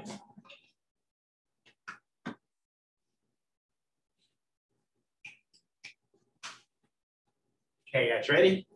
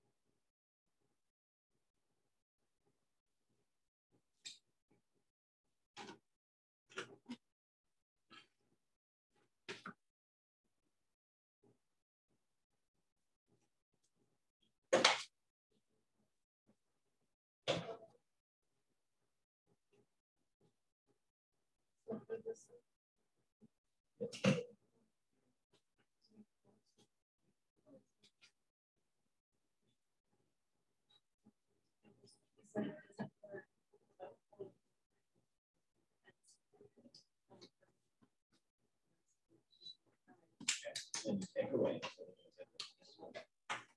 Just read That's right. Take two.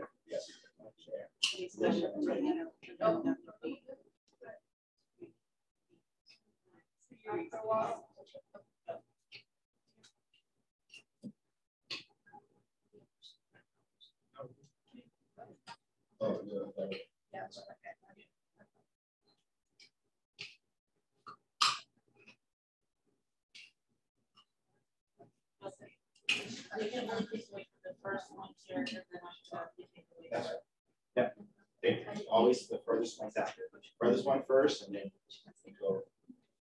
Okay. Okay, so let's keep going. Now, we got like fifty more pages in this packet, right? Seriously. Can I get another chapter one for next week for Essie, Yeah, you can. please? Chapter thirteen. Yeah. Same thing, another one for uh, Demi. Yes.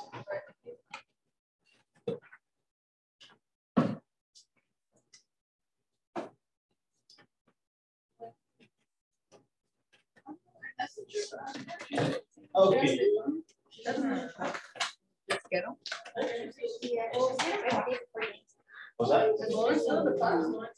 Yeah, she is. I didn't know school. She told me that she was I gonna should have probably to know that. be deployed or something like that. Oh, red and white. It was literally. American Girl. Yeah, she is, she is. And the this one, do you call it? Like, how cool. the white one's me and my. She was- we work with- uh, what was that? And I don't. Uh, So, Not a fan of them. nope. It's happened before. They're recorded so that when they get a chance to watch it, they'll watch it. Uh, Okay, so let's talk about our next one. So let's say we had nitrogen monoxide. Okay. No, no, I- I- hey, it's all about the money, right?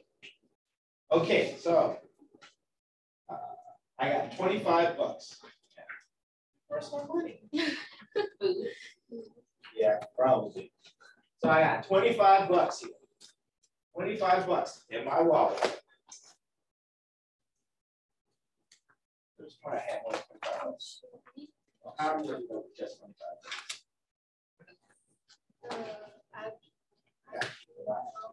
So anyway, twenty-five bucks in my wallet currently. So if anybody can do a Lewis structure that works for this, one, Oh, I give you that twenty-five bucks. you're lying. Are you for real? Oh my gosh. Twenty-five bucks, Okay, wait, hold on. right? Where it obeys the octet rules. Okay, hold on. Oh my gosh, okay, let me, hold on. I need money, guys.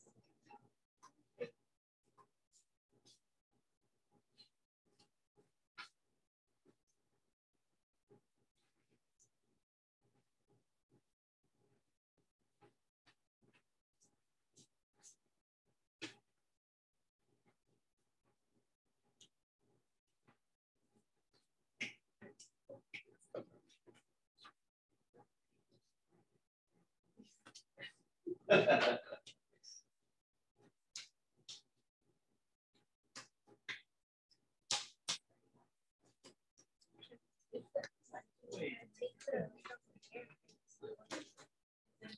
I have holes in all those? Just because. Yeah, but my, um.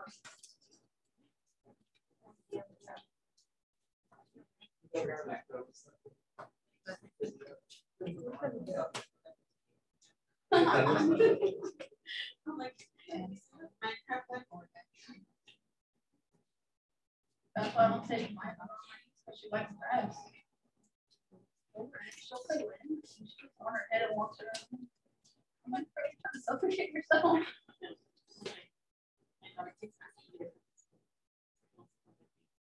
Oh, that's why I was late today, because my niece didn't want to leave, she's like, I go, I go.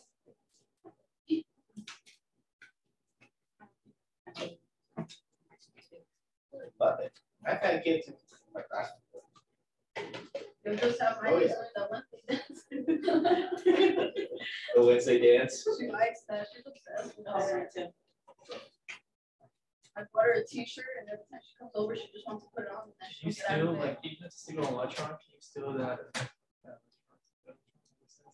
Like you have two, four, six, but nitro, you have six and five. You're trying to take your money. Okay, So so can you can steal, tell that. can you steal that one electron from the six? And then, really? As long as it works out, it has to have the right number of electrons at the very end, right? So zero, So, or the so same number. think, okay, so now just tell me what you just said. How many valence electrons do we have total? So we have six for oxygen So there's six for oxygen, and then five for nitrogen. okay? That's a le- that's an odd number. Correct. You can do it to your blue in the face, it's never gonna work. Right? Okay, so that was the point. It's never gonna work. So this is an exception. right? So I knew I was gonna lose any money here, right? If you did, you fucked up something else. That's a whole other story. Okay, so what it does in this situation is, is that the one who has the most electronegativity is gonna get their octet. And then the other one's gonna be screwed. They can't go over eight, but they can go under eight. Okay, now, let me correct that a little bit.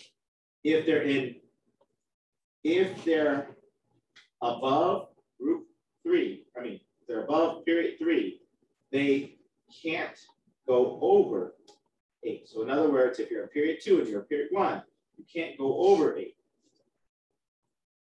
Right? You always have to be below it. Okay?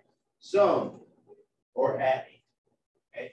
Yeah, at eight or below it. So in this case, we have five valence electrons around our nitrogen. And then we have six valence electrons around our oxygen. So oxygen is going to make sure to get its own. Okay, so that's going to be the first thing. Okay. And then nitrogen is going to get as close to eight as it can. So that's two, that's four, that's six, that's seven around nitrogen. That's two, that's four, that's six, that's eight around oxygen. So the one that's the most electronegative is going to get theirs, and then the other guy is going to be short. Okay.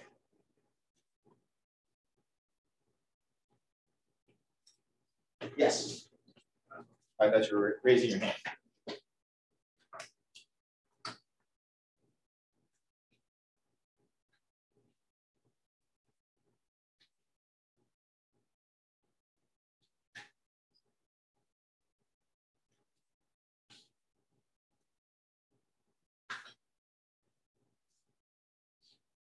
Okay, so these are exceptions. So this very first exception, it's called odd electron, right? Or we often will call it deficiency, okay? Because it's deficient, it doesn't have enough to get it, okay?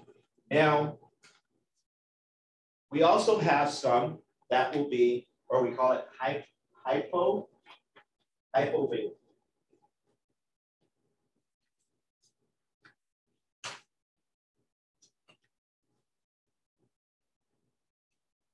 Hypovalence. Okay. Meaning that there isn't going to be enough for it to get to its eight. Or it just doesn't like to get to its eight. Let me type that on the board. Right there.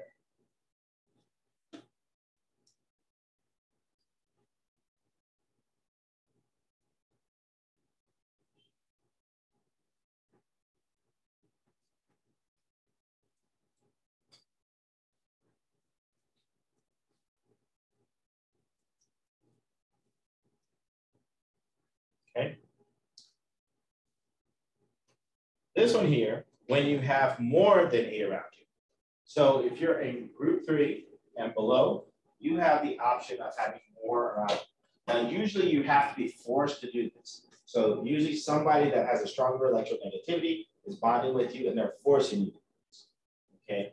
And the reason that you're able to sit there and have more around you is because you can start putting stuff in your D orbital because technically when you're in the third period, I mean, yeah, in the third period, you have access to the D shell because you have 3D.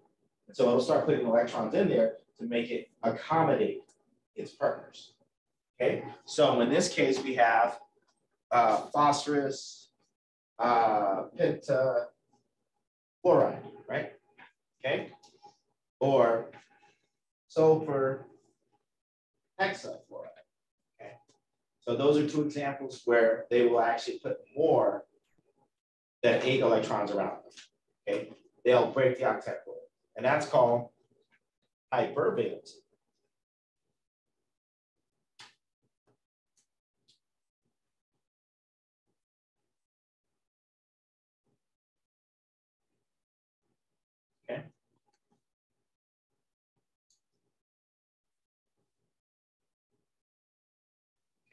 So here are another examples of hypovalency.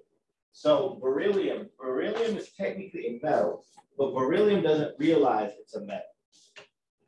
And so it forms covalent bonds with it. Okay, but when it forms covalent bonds, it only likes to have four electrons around it. Boron is a metalloid. It's a special metalloid that, again, when it forms covalent bonds, will only have three. I mean, a total of six electrons around. it. Three bonds, total of six electrons. Okay, and this is another example of hypovalency. Okay. You guys have that look. So what are the exceptions?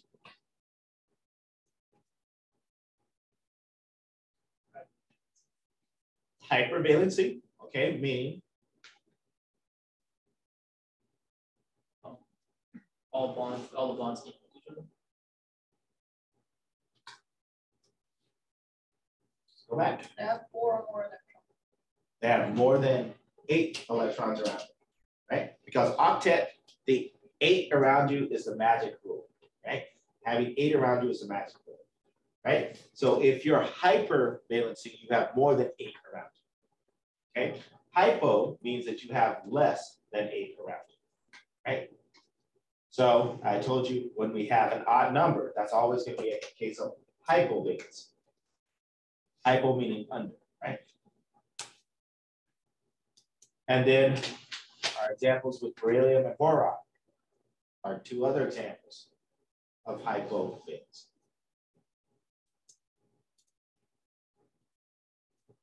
Okay, you guys got it? So this will be an exam. Okay, so let's talk about nomenclature, right? You guys have been waiting for this since we did it for lab, right? Excited. Okay, so typically, in most cases, you're gonna have what we call binary molecular compounds, meaning binary meaning two.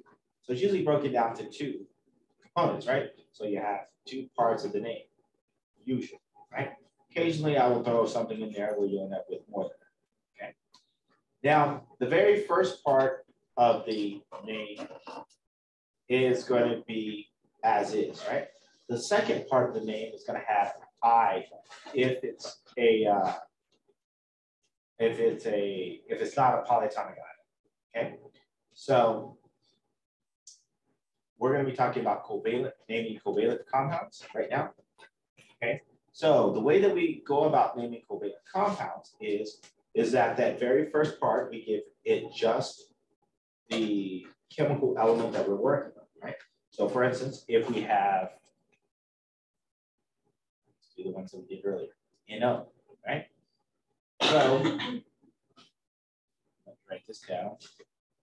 You mind if I drag this over here? Okay, so we're going to use Greek prefixes to tell us how many uh, of the element that we have. Greek prefixes. So if we have one, and we've talked about this already, one would be what?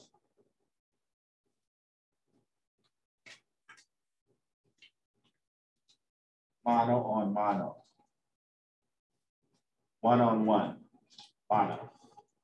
Two, it's going to be di. Three, tri. Four, tetra. Five, penta. Uh, six, hexa. Seven, hepta. Eight,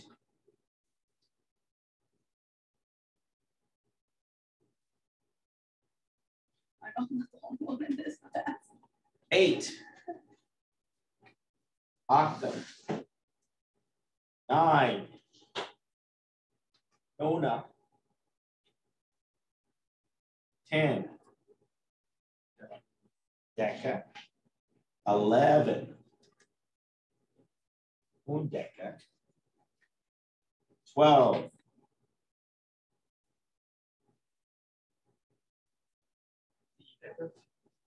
Do, dodeca. Close enough. Dodeca. Thirteen. Trideca. Yeah, that is kind of interesting that we don't do dedeca. okay.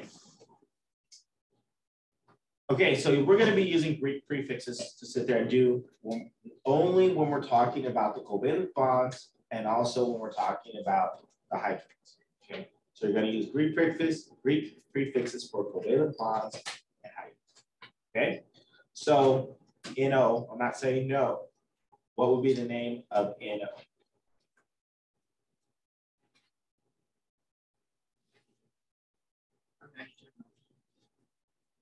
Well, we know that it's nitrogen and oxygen, but what would be its formal name?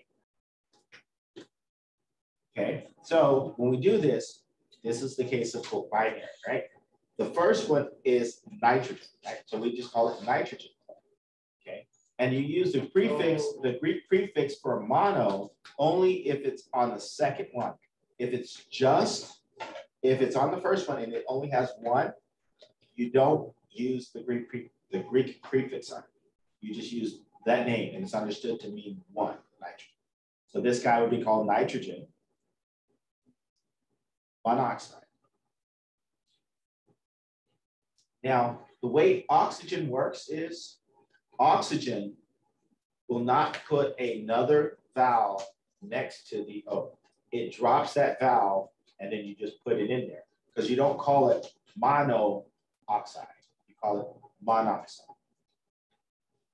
You guys see that? So we're not writing it as monoxide. We're writing as monoxide. Okay. So if I have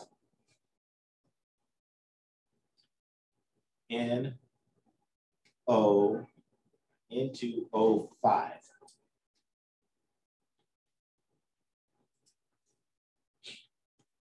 What would we name this?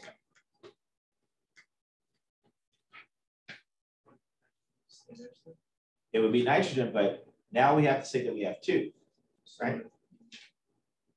So it would be what? Di, no, dinitrogen. So you would just still be nitrogen, right? You only change the last part. The last name drops it, it's in and it gets I. Okay. So then it would be di nitrogen. And then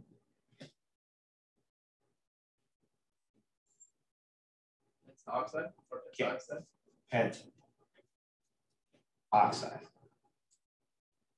Okay, again, since there's an A, it's gonna drop that A. And again, it's only oxygen that does this.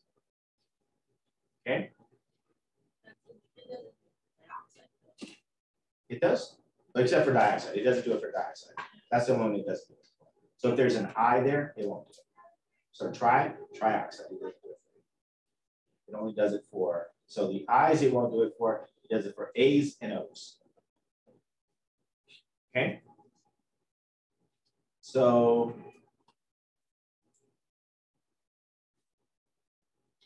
our next one.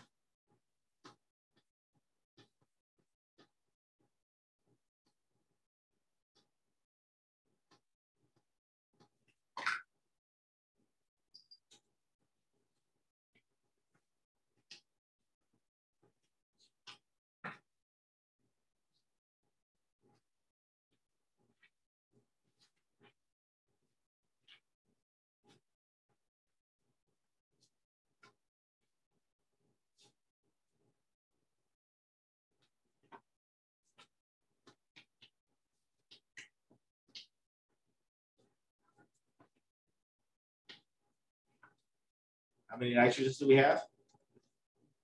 Okay, so what is the Greek prefix for three, Jerry?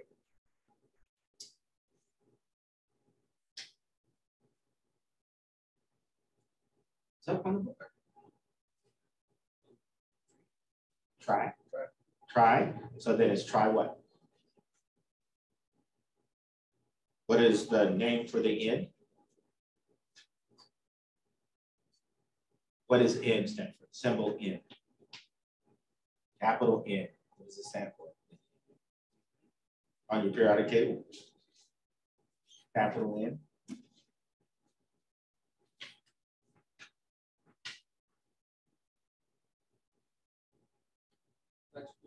Okay, so then it's trinitrogen.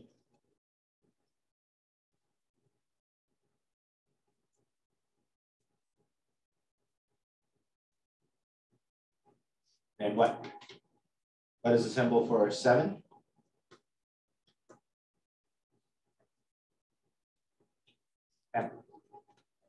Hepta. And then it's I. What is I? Iodine. So in this case, instead of saying iodine, we say iodide, right? So it's heptaiodide. So we drop the I in and we put the IDE. Okay. Ready for another? Okay, let's do.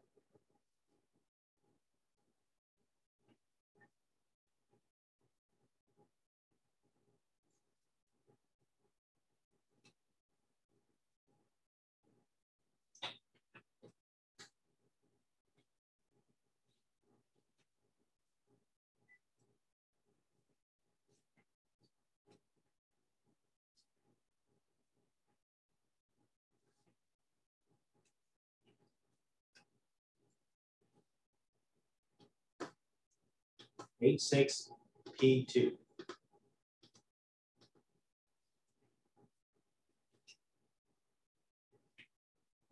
H six P two.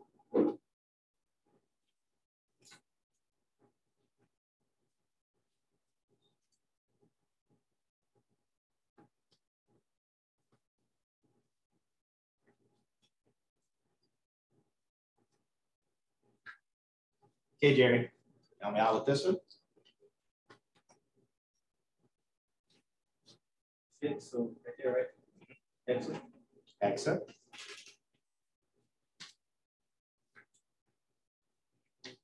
Hydrogen. Okay.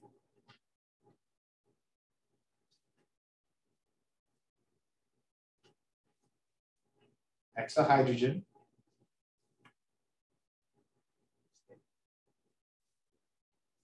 So it's P two.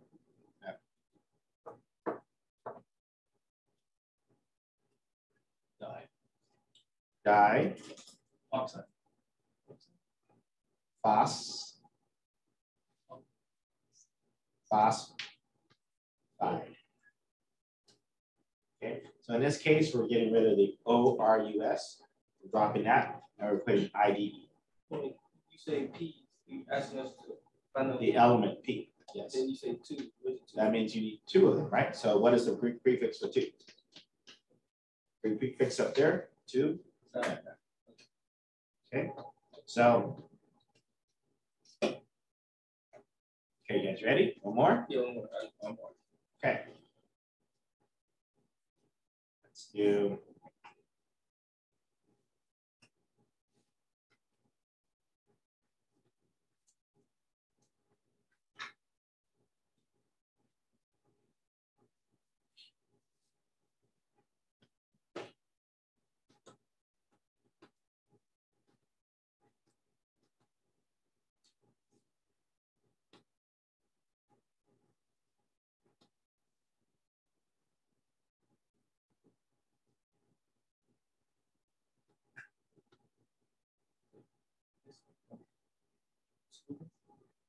Like carbon. Carbon. So you write carbon. And then what? Nitrogen, Would it just be carbon, nitrogen? How many nitrogens do we have? three, let's try. Okay, so we try. Nitrogen. Sorry, trinitride.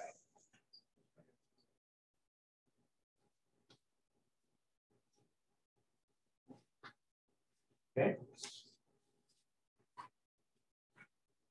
Guys got it? Good, good.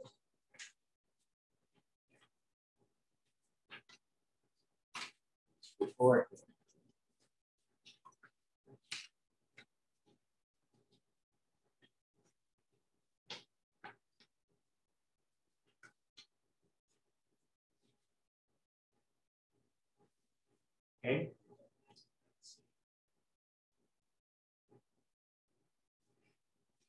So, Greek prefixes. Okay, so now what we're going to do is we're given the name. Now you're going to give me the chemical formula. So we have dinitrogen pentasulfide. What would be the chemical formula?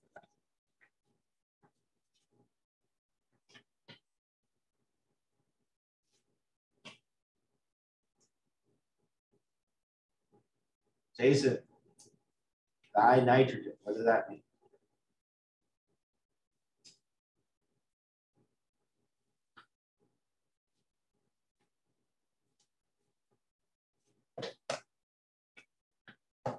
What is the Greek prefix?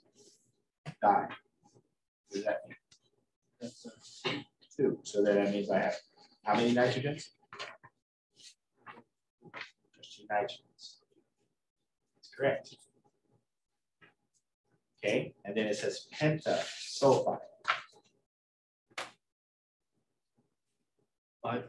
Five of what? Yes.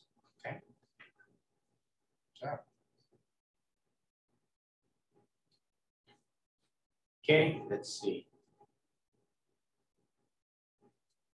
Alex. You there? Yes. What about dinitrogen pentoxide?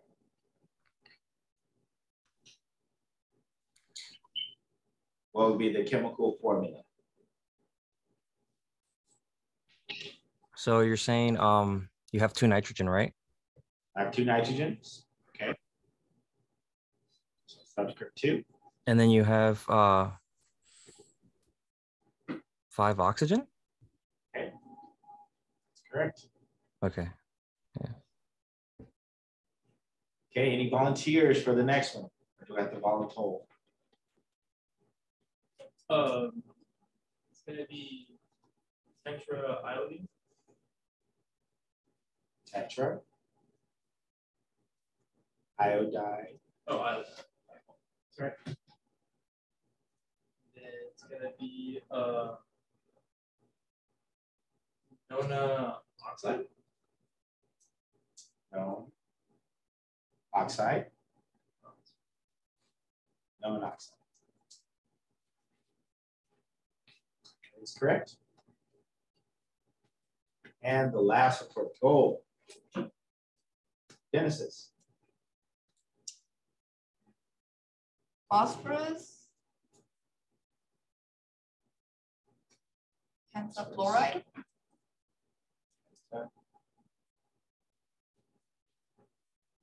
right. That is correct. How's your head feeling? Pretty good?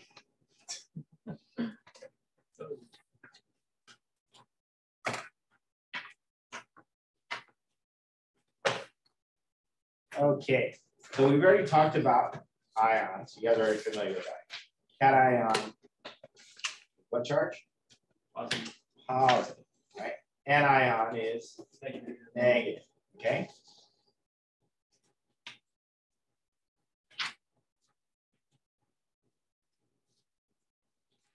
So when we add and remove electrons so that they're like the noble gases, we start to say that they're electro, uh, sorry, isoelectric with that noble gas. So for instance, all of these guys, if we add three electrons to nitrogen so that it's N3, it's going to be uh, isoelectric to nitrogen. meaning that it has the same number, not nitrogen, but neon, uh, meaning it has the same number of electrons as neon. So that term iso, meaning the same, electronic, meaning same number of electrons, okay? So if it's isoelectric to something, it has the same number as that other element, same number of electrons as that other element, okay? So oxygen, if we have O2, right, O2 minus, it forms its ion.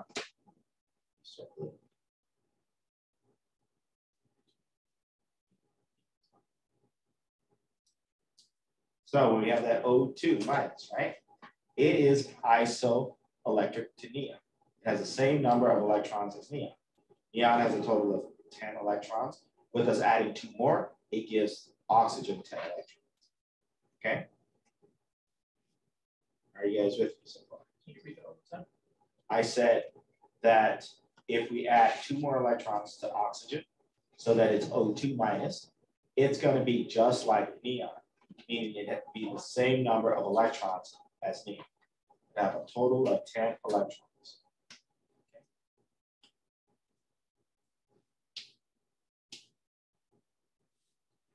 I always like to put something on isoelectronic on the. Definition or an example.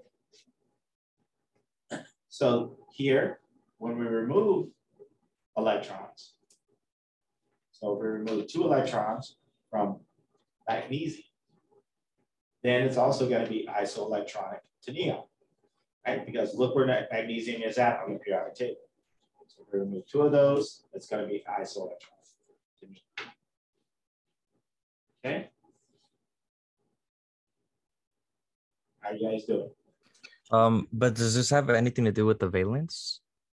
Or is it just strictly like for No, it, it does have to do with the valence, right? Because in the case of magnesium, how many valence electrons does, does magnesium have? Two. It has two valence electrons.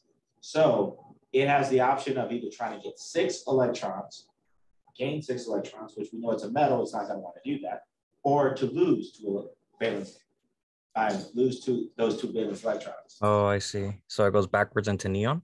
That's right. And when it Uh, loses electrons, it becomes like neon. It's stable. It's isoelectronic to neon.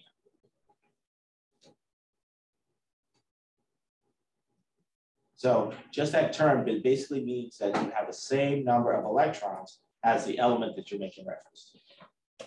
Um, so you always compare it to um the valence because in the case of nitrogen, Yeah, um, when we said N3, right?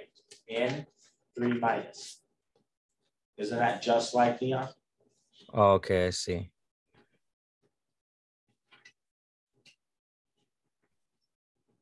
Yeah, that would be like neon. That's right. If we add three more electrons, it would be just like neon. So then it's isoelectronic to neon. And so the point is, is that it's stable because we know that the noble gases are stable. And by them trying to be like them, they become stable. So they form ions to be like those noble gases, where the noble gases are just themselves. Okay.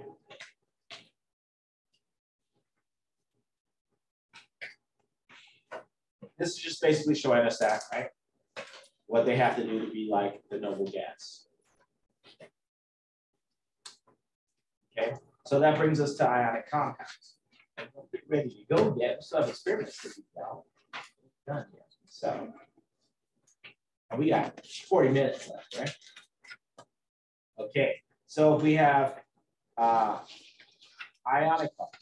Ionic bonds are going to be held together by the ions.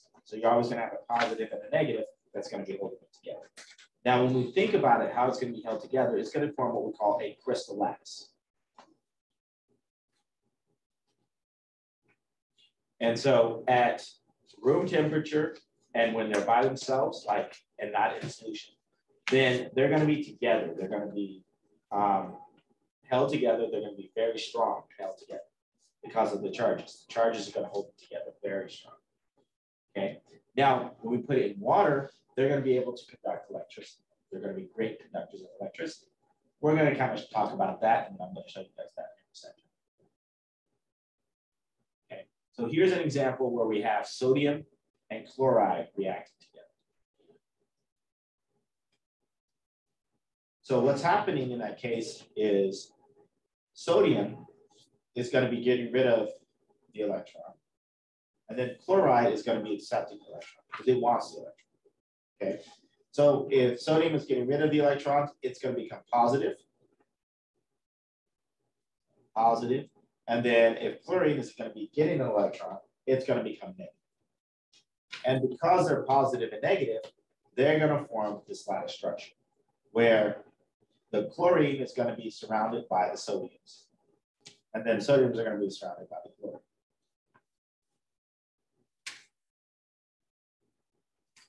Okay, this is just showing you a better vision uh, view of the lattice. And so you guys can see it in a simple cube model, right?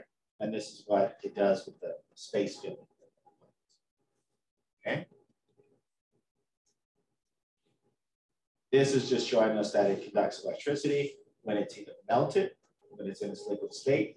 And you can actually melt salt, but you have to get it really, really, really, really high. On our stove, we can't get it high. Um, or if we put it in solution with water, right? So salt separates, it's able to conduct electricity. Okay.